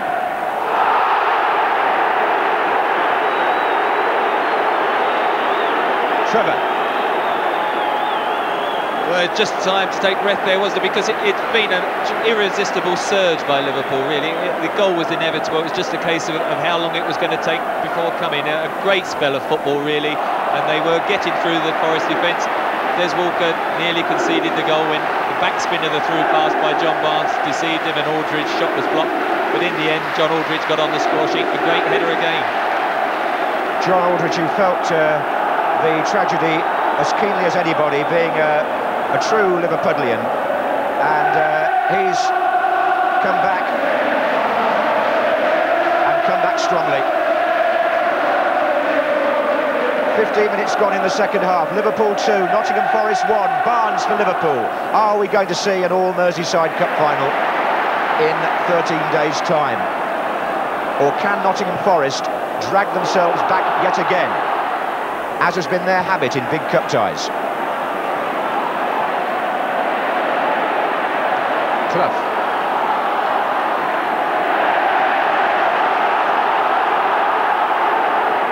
That's a long ball from Houghton. Twice behind, I think, weren't they, in the Simod? And uh, this is a long way from being over yet. A lot of football to be played.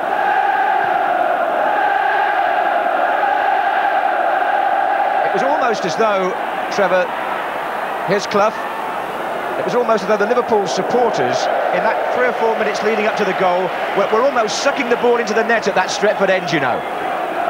And Nottingham Forest just couldn't get out of their own half, really. Uh, I mean, there was such a spell of pressure. Uh, and really, this is a problem Nottingham Forest are going to have to get back in this match because at the moment they've got eight or nine men back at stages and, and really Lee Chapman is isolated up front and until they start to get men forward and support him better, they're not going to get those half chances that in fact got them into the game in the first half.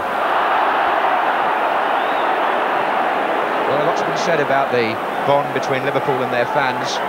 If ever the uh, backing got to the players on the field, then it certainly must have done in that uh, five-minute spell.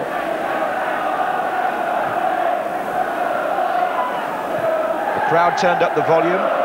Liverpool turned on some terrific football and they're back in front. Nicol. And there's movement everywhere now in red shirts. Nicol again. And still Nicol. Aldridge is now very close to uh, a little not unique, but a feat that hasn't been achieved for quite a long time, you know, because it's 31 years since a player scored a hat-trick in an FA Cup semi-final. This is Beardsley.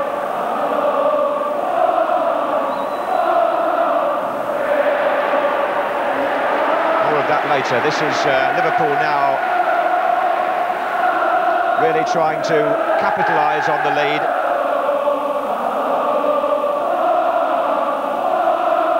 And should they do so with a third goal, then you would think that that would settle matters.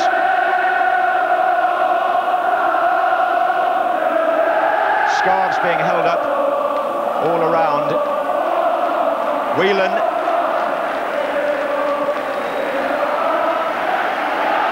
Well, Trevor, do you see Forest be able to cope with this kind of support? And they're really up against it now, aren't they?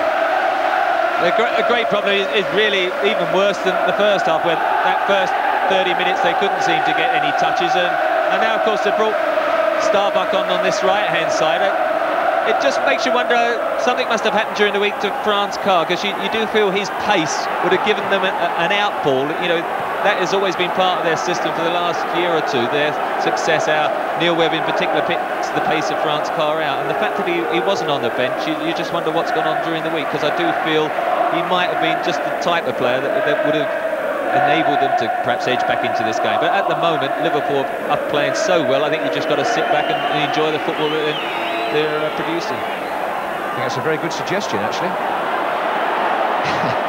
people at home are doing just that. This is Starbuck.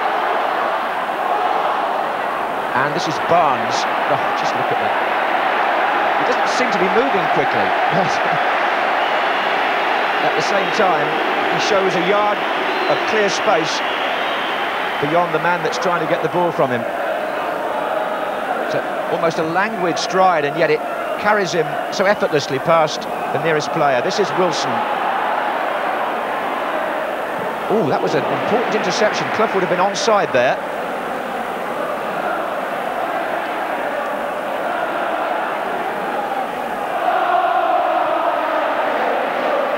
After what happened in the first half, we mustn't rule Forest out not until Liverpool score again, if they do. This is Wilson.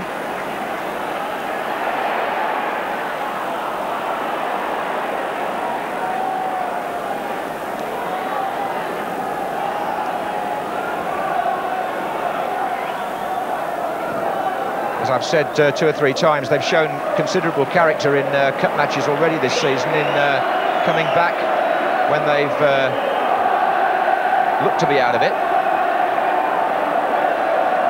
With 20 minutes gone in the second half, they're still battling away for Brian Clough. But they're 2-1 down. It's the Liverpool fans who are, at the moment, making the noise. Here's Pearce for Forest. There are one or two Forest players who found it awfully hard to get into the game today. That's offside. I'm thinking of Chapman, of Parker. Even Nigel Clough, to an extent, is limited in how much he can affect the game.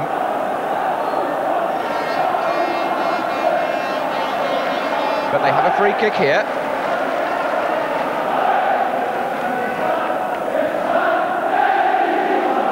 Parker.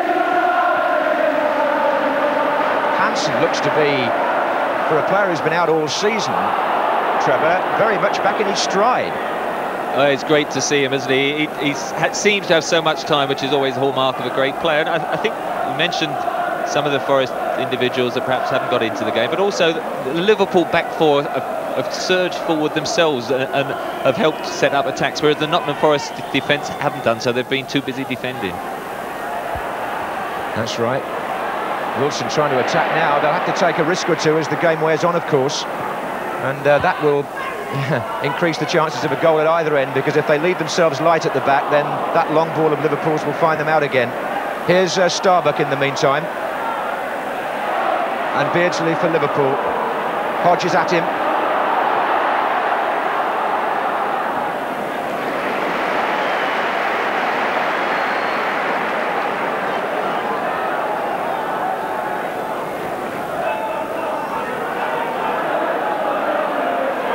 Is Wilson.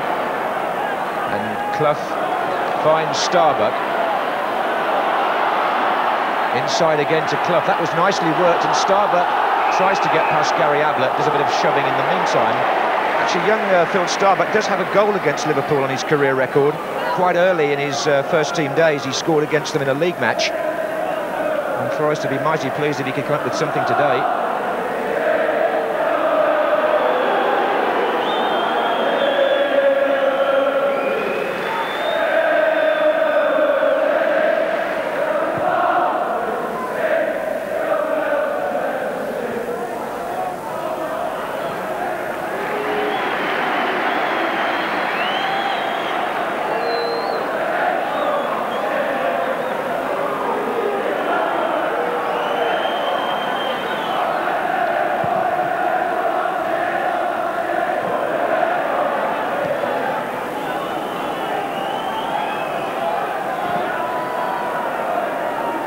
Chapman the target there. Felt he was pushed by Alan Hansen. This is Webb, who's worked terrifically hard to keep Forest in it. Starbuck.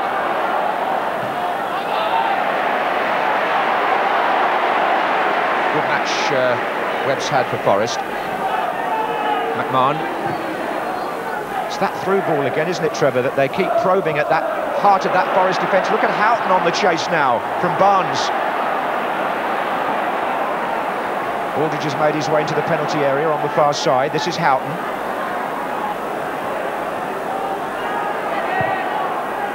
Good little ball into Beardsley, trying to turn Hodge.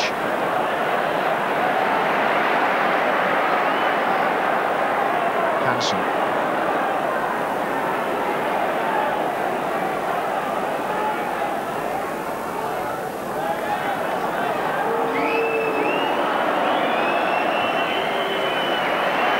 Work the ball so well and so comfortably from one side of the field to the other.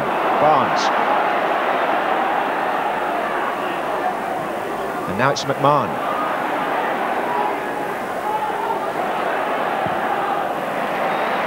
Look at the space Steve Nicol got over there. He's almost got the field to himself. Parker trying to shut it down now.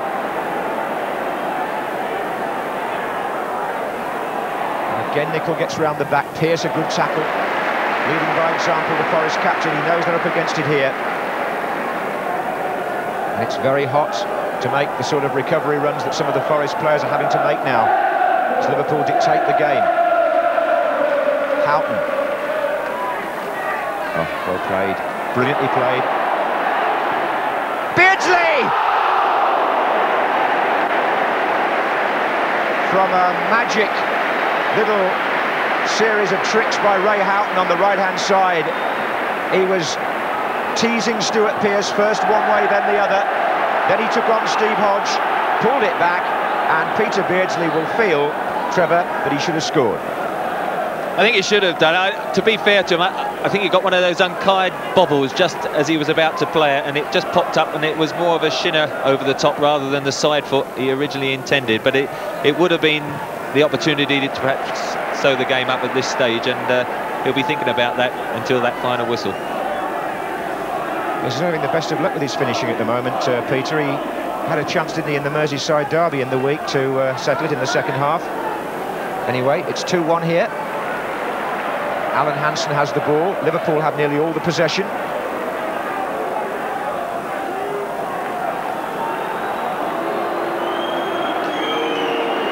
And it is so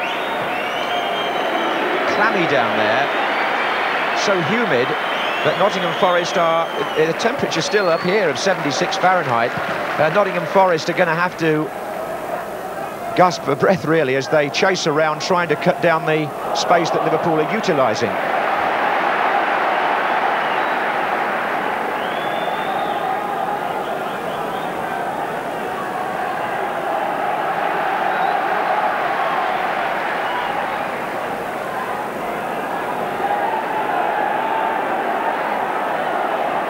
They still find their own player, Aldridge. That was beautifully done again. Oh, and that's going to be an own goal, is it?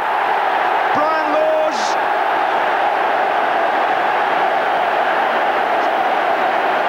And Liverpool may now be in the cup final. Aldridge setting the play up with Beardsley. Barnes didn't touch it. Laws certainly did. That's an own goal. And it's 3-1 to Liverpool. 72 minutes, cruel on Brian Laws. well, the cup can hurt, can't it? It's the cup that cheers for Liverpool, but it's a wretched moment for Brian Laws. I've got a feeling he, he was responsible uh, for an own goal, perhaps uh, earlier in the week, I'm not sure, in, in, in the match against Millwall, but uh, certainly turned that one in and it's 3-1 and those supporters are celebrating the strong possibility now of Liverpool after all the tribulations of the last three weeks qualifying for the FA Cup final against their Merseyside rivals Everton. 17 minutes left 3-1 to the Reds. McMahon Well, you've got to feel sorry for Steve Sutton, I suppose, to be beaten by your own player, Trevor. It was one of the defender's nightmares, really. Uh, a, a, cross coming right across the face of the goal there. And, uh, of course, when you're a fullback, it's always going to be on Brian Laws' weaker foot. He's a right back, and it, it, he's going to have to make the clearance with his left foot. And just as he's about to do so, I think he hit the same bobble that it hit Peter Beardsley when he missed that opportunity, because it did pop up. And uh, I think you'll find, if you speak to him afterwards, it was his left shin pad that will take the the blame for that particular goal. But uh, it's one of those incidents, unfortunately, that uh, he'll remember and it'll take a few weeks to get over. Yeah, it was bad luck on Brian, wasn't it? Because he was involved in that mix-up on the first goal as well with Tommy Gaynor. He's not had the best of fortune out there, the right back. And funnily enough, uh, Chettle last year in the semi-final playing in that position didn't have the best of fortune either against Barnes. It's on that side of the field where Liverpool have capitalised against Forest. But here's Starbuck.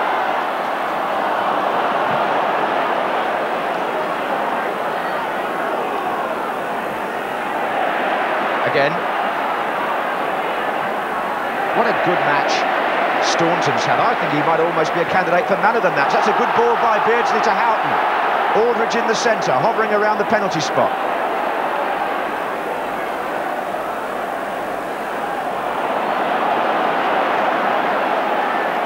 Hodge keeping Forest moving, keeping their chins up.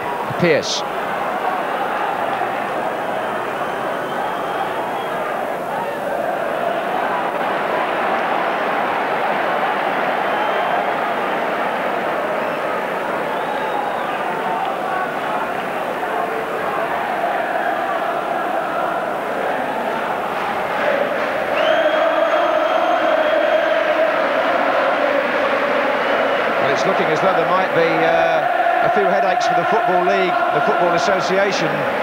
with 15 minutes to go and Liverpool leading 3-1. I suppose uh, tomorrow morning's uh, follow-up stories will be about fixture congestion. Anyway, this semi-final has still got a quarter of an hour to run. Liverpool with so many matches to fit in now.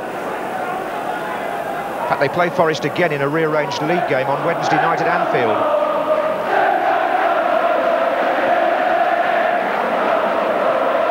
Chapman.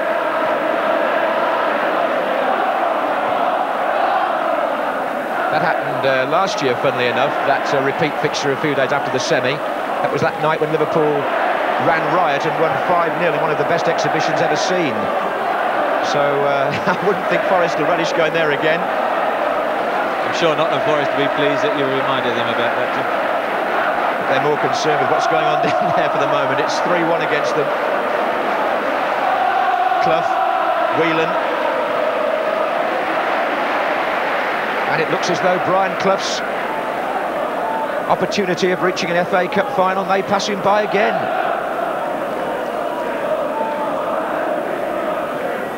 Having clinched two other competitions at Wembley in recent weeks, the hat-trick is fading now a little bit from Forest sights. McMahon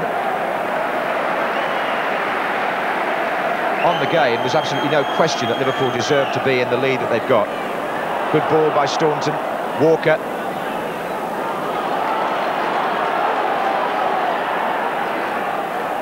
Chapman, Clough. That's better. Walker's through. Des Walker, who's never scored a goal for Nottingham Forest, could have made a name for himself in the semi-final, but so unused is he to being in that position, he spurned the chance. And I would have thought that with that, may have gone Forest's last opportunity of staging what would have to be a dramatic recovery. He was clean through, he was onside, but he pushed that one wide of the post. The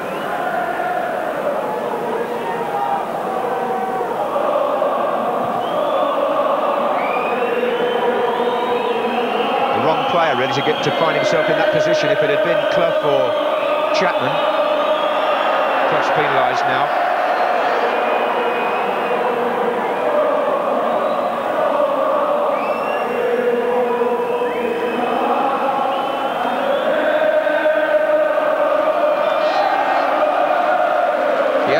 Said that the two finalists will receive something like 37,000 tickets each this year.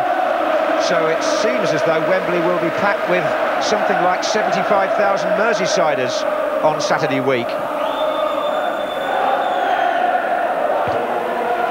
That's always assuming Liverpool don't throw away a two-goal lead. Forest are still trying to snatch something out of what's a fairly forlorn situation. But one goal, and who knows? Pearce, Parker.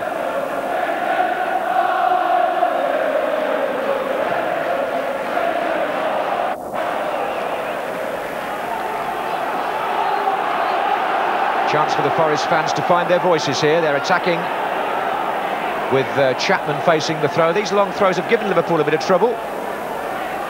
Chapman again. It's a corner.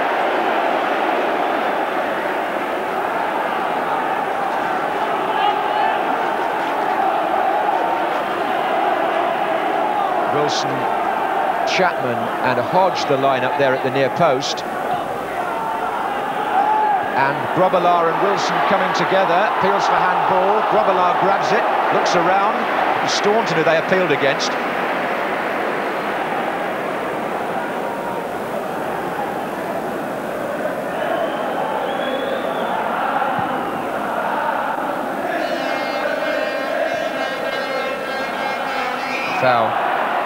Clough on McMahon.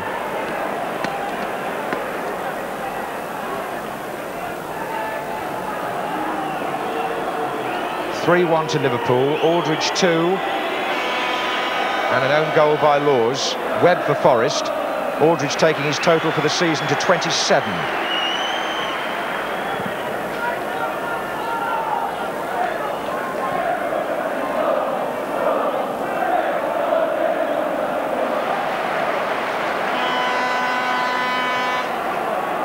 Ten minutes left in the second half.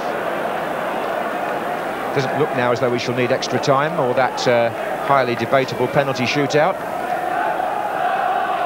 But it'll be interesting to see what happens about the cup final and uh, whether there'll be room for a replay or not. Still to be decided. That's Pearce. Webb.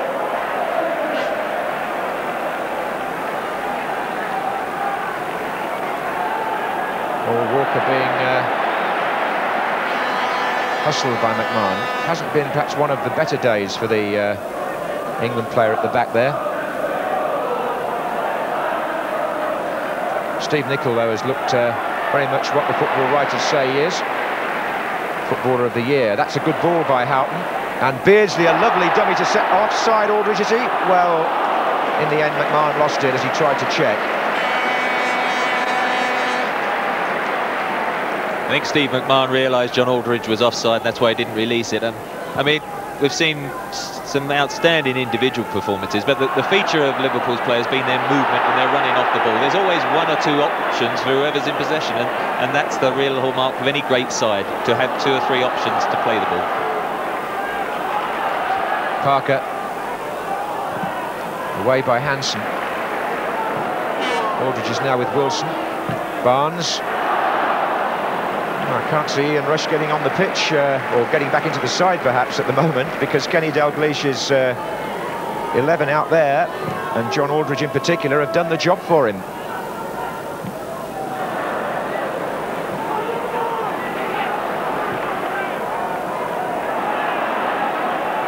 Ray Houghton's been so influential, so effective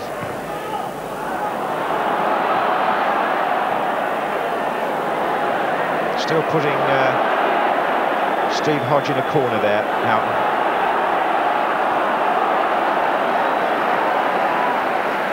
That's uh, young Lee Glover, only 19. Looks as though he'll get his chance.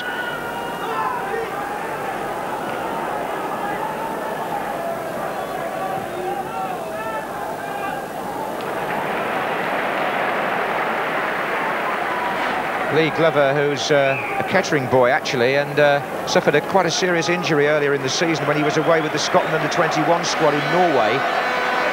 And uh, he'll get an opportunity now to restake his claim because he's coming off in place of, he's coming on rather in place of Gary Parker.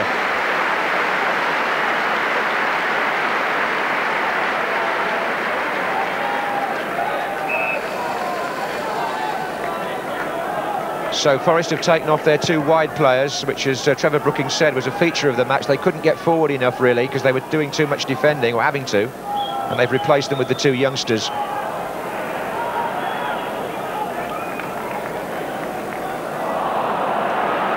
That's the position. 3-1 to Liverpool. And the sting seems to have gone out of the match now, Trevor, really.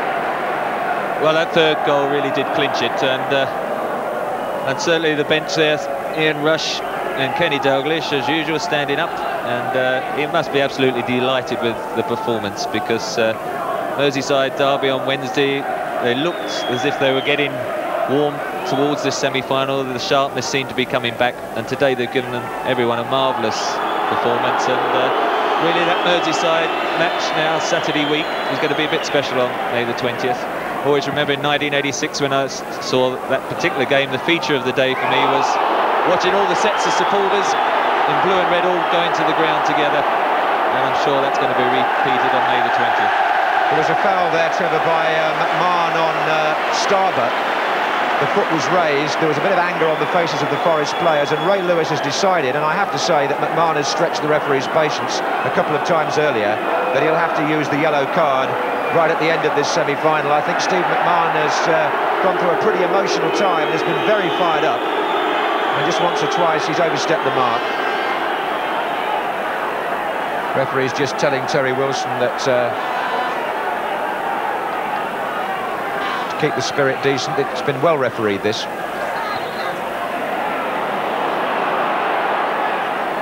Beardsley.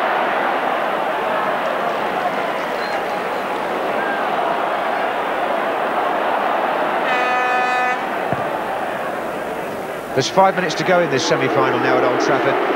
Liverpool lead Nottingham Forest by three goals to one and look set fair for the second All-Merseyside FA Cup final in four years. Starbuck, Webb, but here's Hodge trying to stop that happening. Without success. Nicol. And now Ronnie Whelan and the Forest legs are tired now and Liverpool are running them into the ground. It's Nicol. Whelan's just behind him. They've got Aldridge, Barnes and Beardsley in the middle. Beardsley.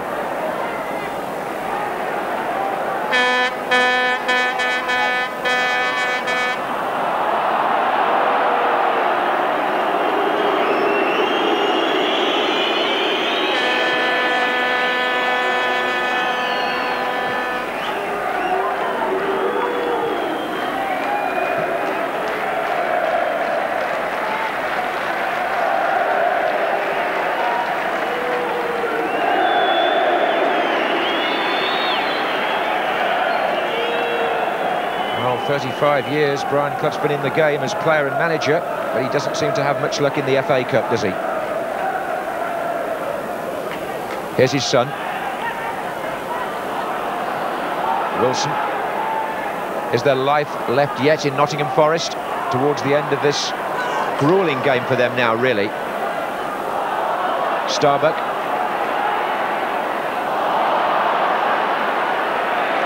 Liverpool's economy of movement, such a feature. Laws. Starbuck. Good play this by Forest, though. Nice and tidy. Hodge. They're going to fight it out right to the end. Webb. Pearce. Good-looking ball, that.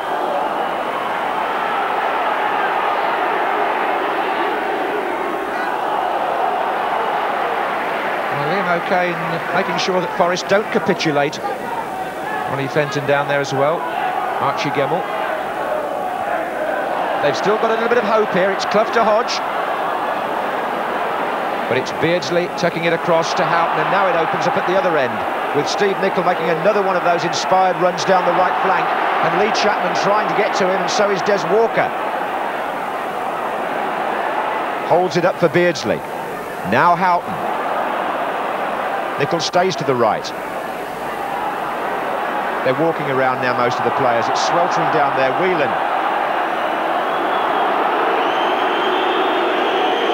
Forest fans don't like this very much. There are two minutes to go.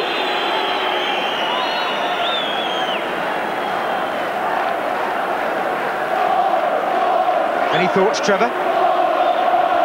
Well, it must feel disappointed, Nottingham Forest, and, and Brian Clough, of course, but I, I think we should uh, be a bit unfair if we didn't acknowledge that they've had a marvellous season themselves. They're a young team, two finals at Wembley and a semi-final of the FA Cup, and uh, they'll be, look back and they've had a great season, but certainly today belongs to Liverpool.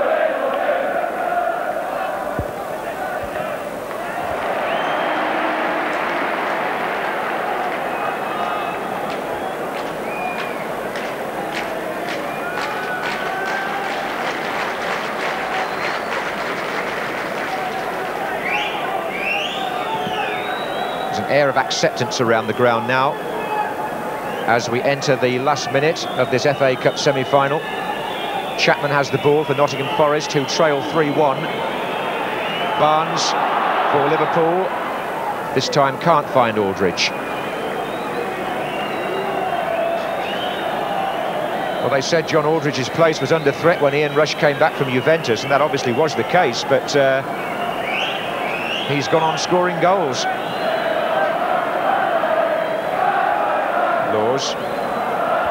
Starbuck.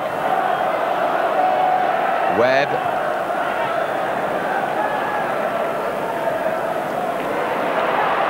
Is the time for one more typical John Barnes run?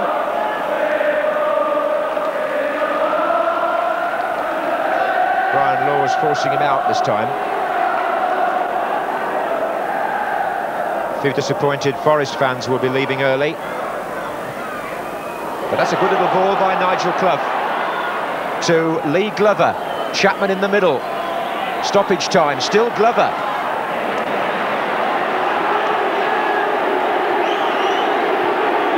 Played by McMahon. And Liverpool are through to the FA Cup final to play their Merseyside rivals Everton. Kenny Dalglish's team with a smile back on their faces on those of the supporters who were able to come today. The end of a traumatic three weeks for them. But they wanted to play, they did play, and they put on an exhibition which was worthy of the club and of the FA Cup semi-final.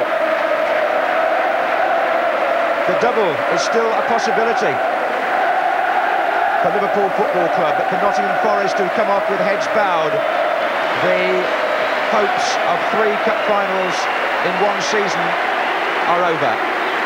Kenny Dalglish congratulating his players.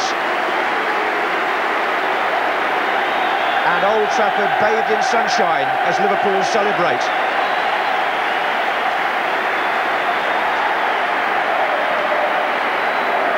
A performance of which their supporters will be proud.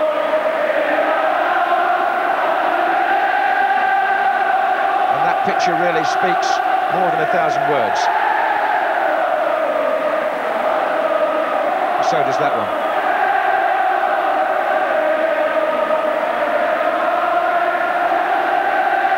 The bond between these people and Kenny Dalglish has never been stronger than it is now. This is a really great scene.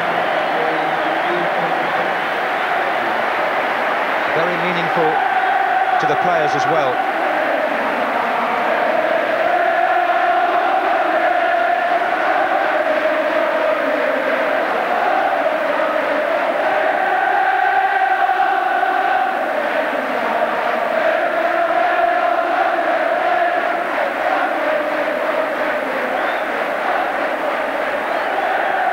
Just look at that. So the warmth of the relationship on Merseyside between players and fans is underlined here at Old Trafford. Kenny Dalglish quite deliberately staying out till last.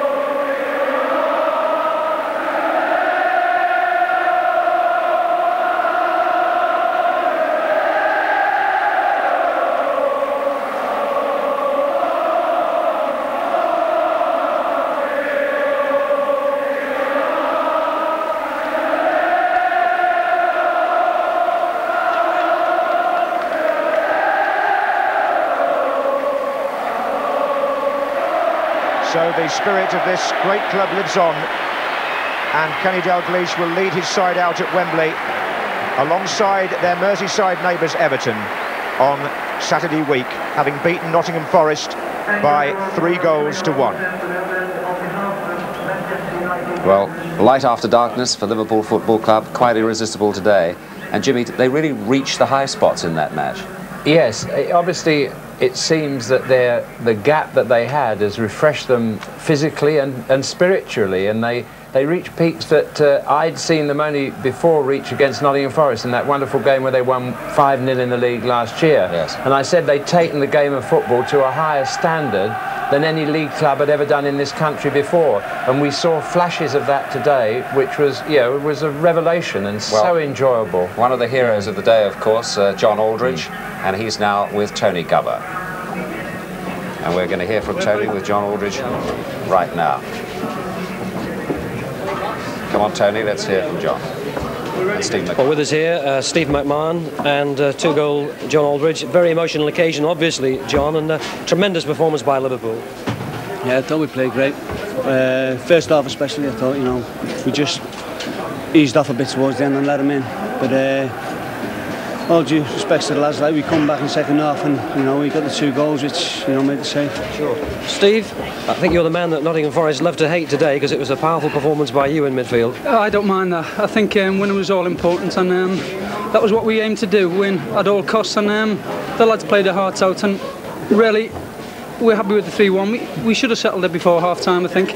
But um, we believed in ourselves and we only had to keep going and, and we did all credit to everybody. We kept going. And one of the men who did it for you, of course, as he did in the semi-final 12 months ago, John Aldridge. Tell us about this one, John. Um, I don't remember much of it actually. I remember Beardsley picking it up and having a shot. And uh, I've just followed in in case the goalie saved it. And uh, I've just got the rebound well. Yeah, but you say that, it made a tremendously quick reaction. Aye, aye, it's not bad. I'm happy with that. You're going over your head, aren't you? Aye, I've done well with my neck muscles, I think. Aye. And now the second one. Uh, I think Razor done great here, yeah. Uh, he, he chipped the far post, and I thought Peter was going to flick it off my head. And I've just got above him and, and just uh, got my head to it. Probably foul Peter there, I think, to score it. It really is extraordinary, uh, after all that has happened, that, that Liverpool do win the semi-final, and now it's a, an all-Merseyside final against Everton. Yeah, I think um, that's what everyone wanted. I think uh, probably in the country as well as ourselves. That's uh, for Merseyside, I think. Merseyside deserves that. Yeah. We were at Goodison on Wednesday, and uh, it was fantastic. So it's um, all credit to the city, really, not just Liverpool. It's Everton as well, and um, they deserve uh, a lot of credit as well. There is a problem, though, because there is now a fixture pile-up, and it's very likely the FA at this moment are making the decision that the final would be decided on penalties if it's required, because there isn't time for an FA Cup final replay. We're just to abide by that if that's the case. Um, I just hope that it's a great occasion. Uh, I'm sure it will be for the fans anyway. And whatever the outcome, you know, we'll enjoy it, I'm sure. Sure. Steve? Yes, well, decisions are made by the, the FA, so it's up to them really. It's it'd be a sad occasion if it does get decided on penalties, but we're there and let's hope it, it, it hasn't got to go to penalties. One team or the other wins it, and uh, we don't have to have that Hopefully dilemma. Of course, there's not only the FA Cup for Liverpool to, to, look forward to, there's still the possibility and the real possibility of winning the Championship and doing the double. Well, that's right. I think we've got to concentrate on uh, on the league games now. I know they're going to come thick and fast, but um, there's a lot of pressure off us. We've got to the final. We can enjoy that now, and we can uh, concentrate on the league game. Of course, we play Forest Wednesday, which is going to be probably even more difficult. And uh, we've got to get on with it. Keep going. Well, on the evidence of that display in the semi-final, I think it'll be difficult for anybody to beat Liverpool. Thanks very much. Thank you. Thank you. Cheers, Tom.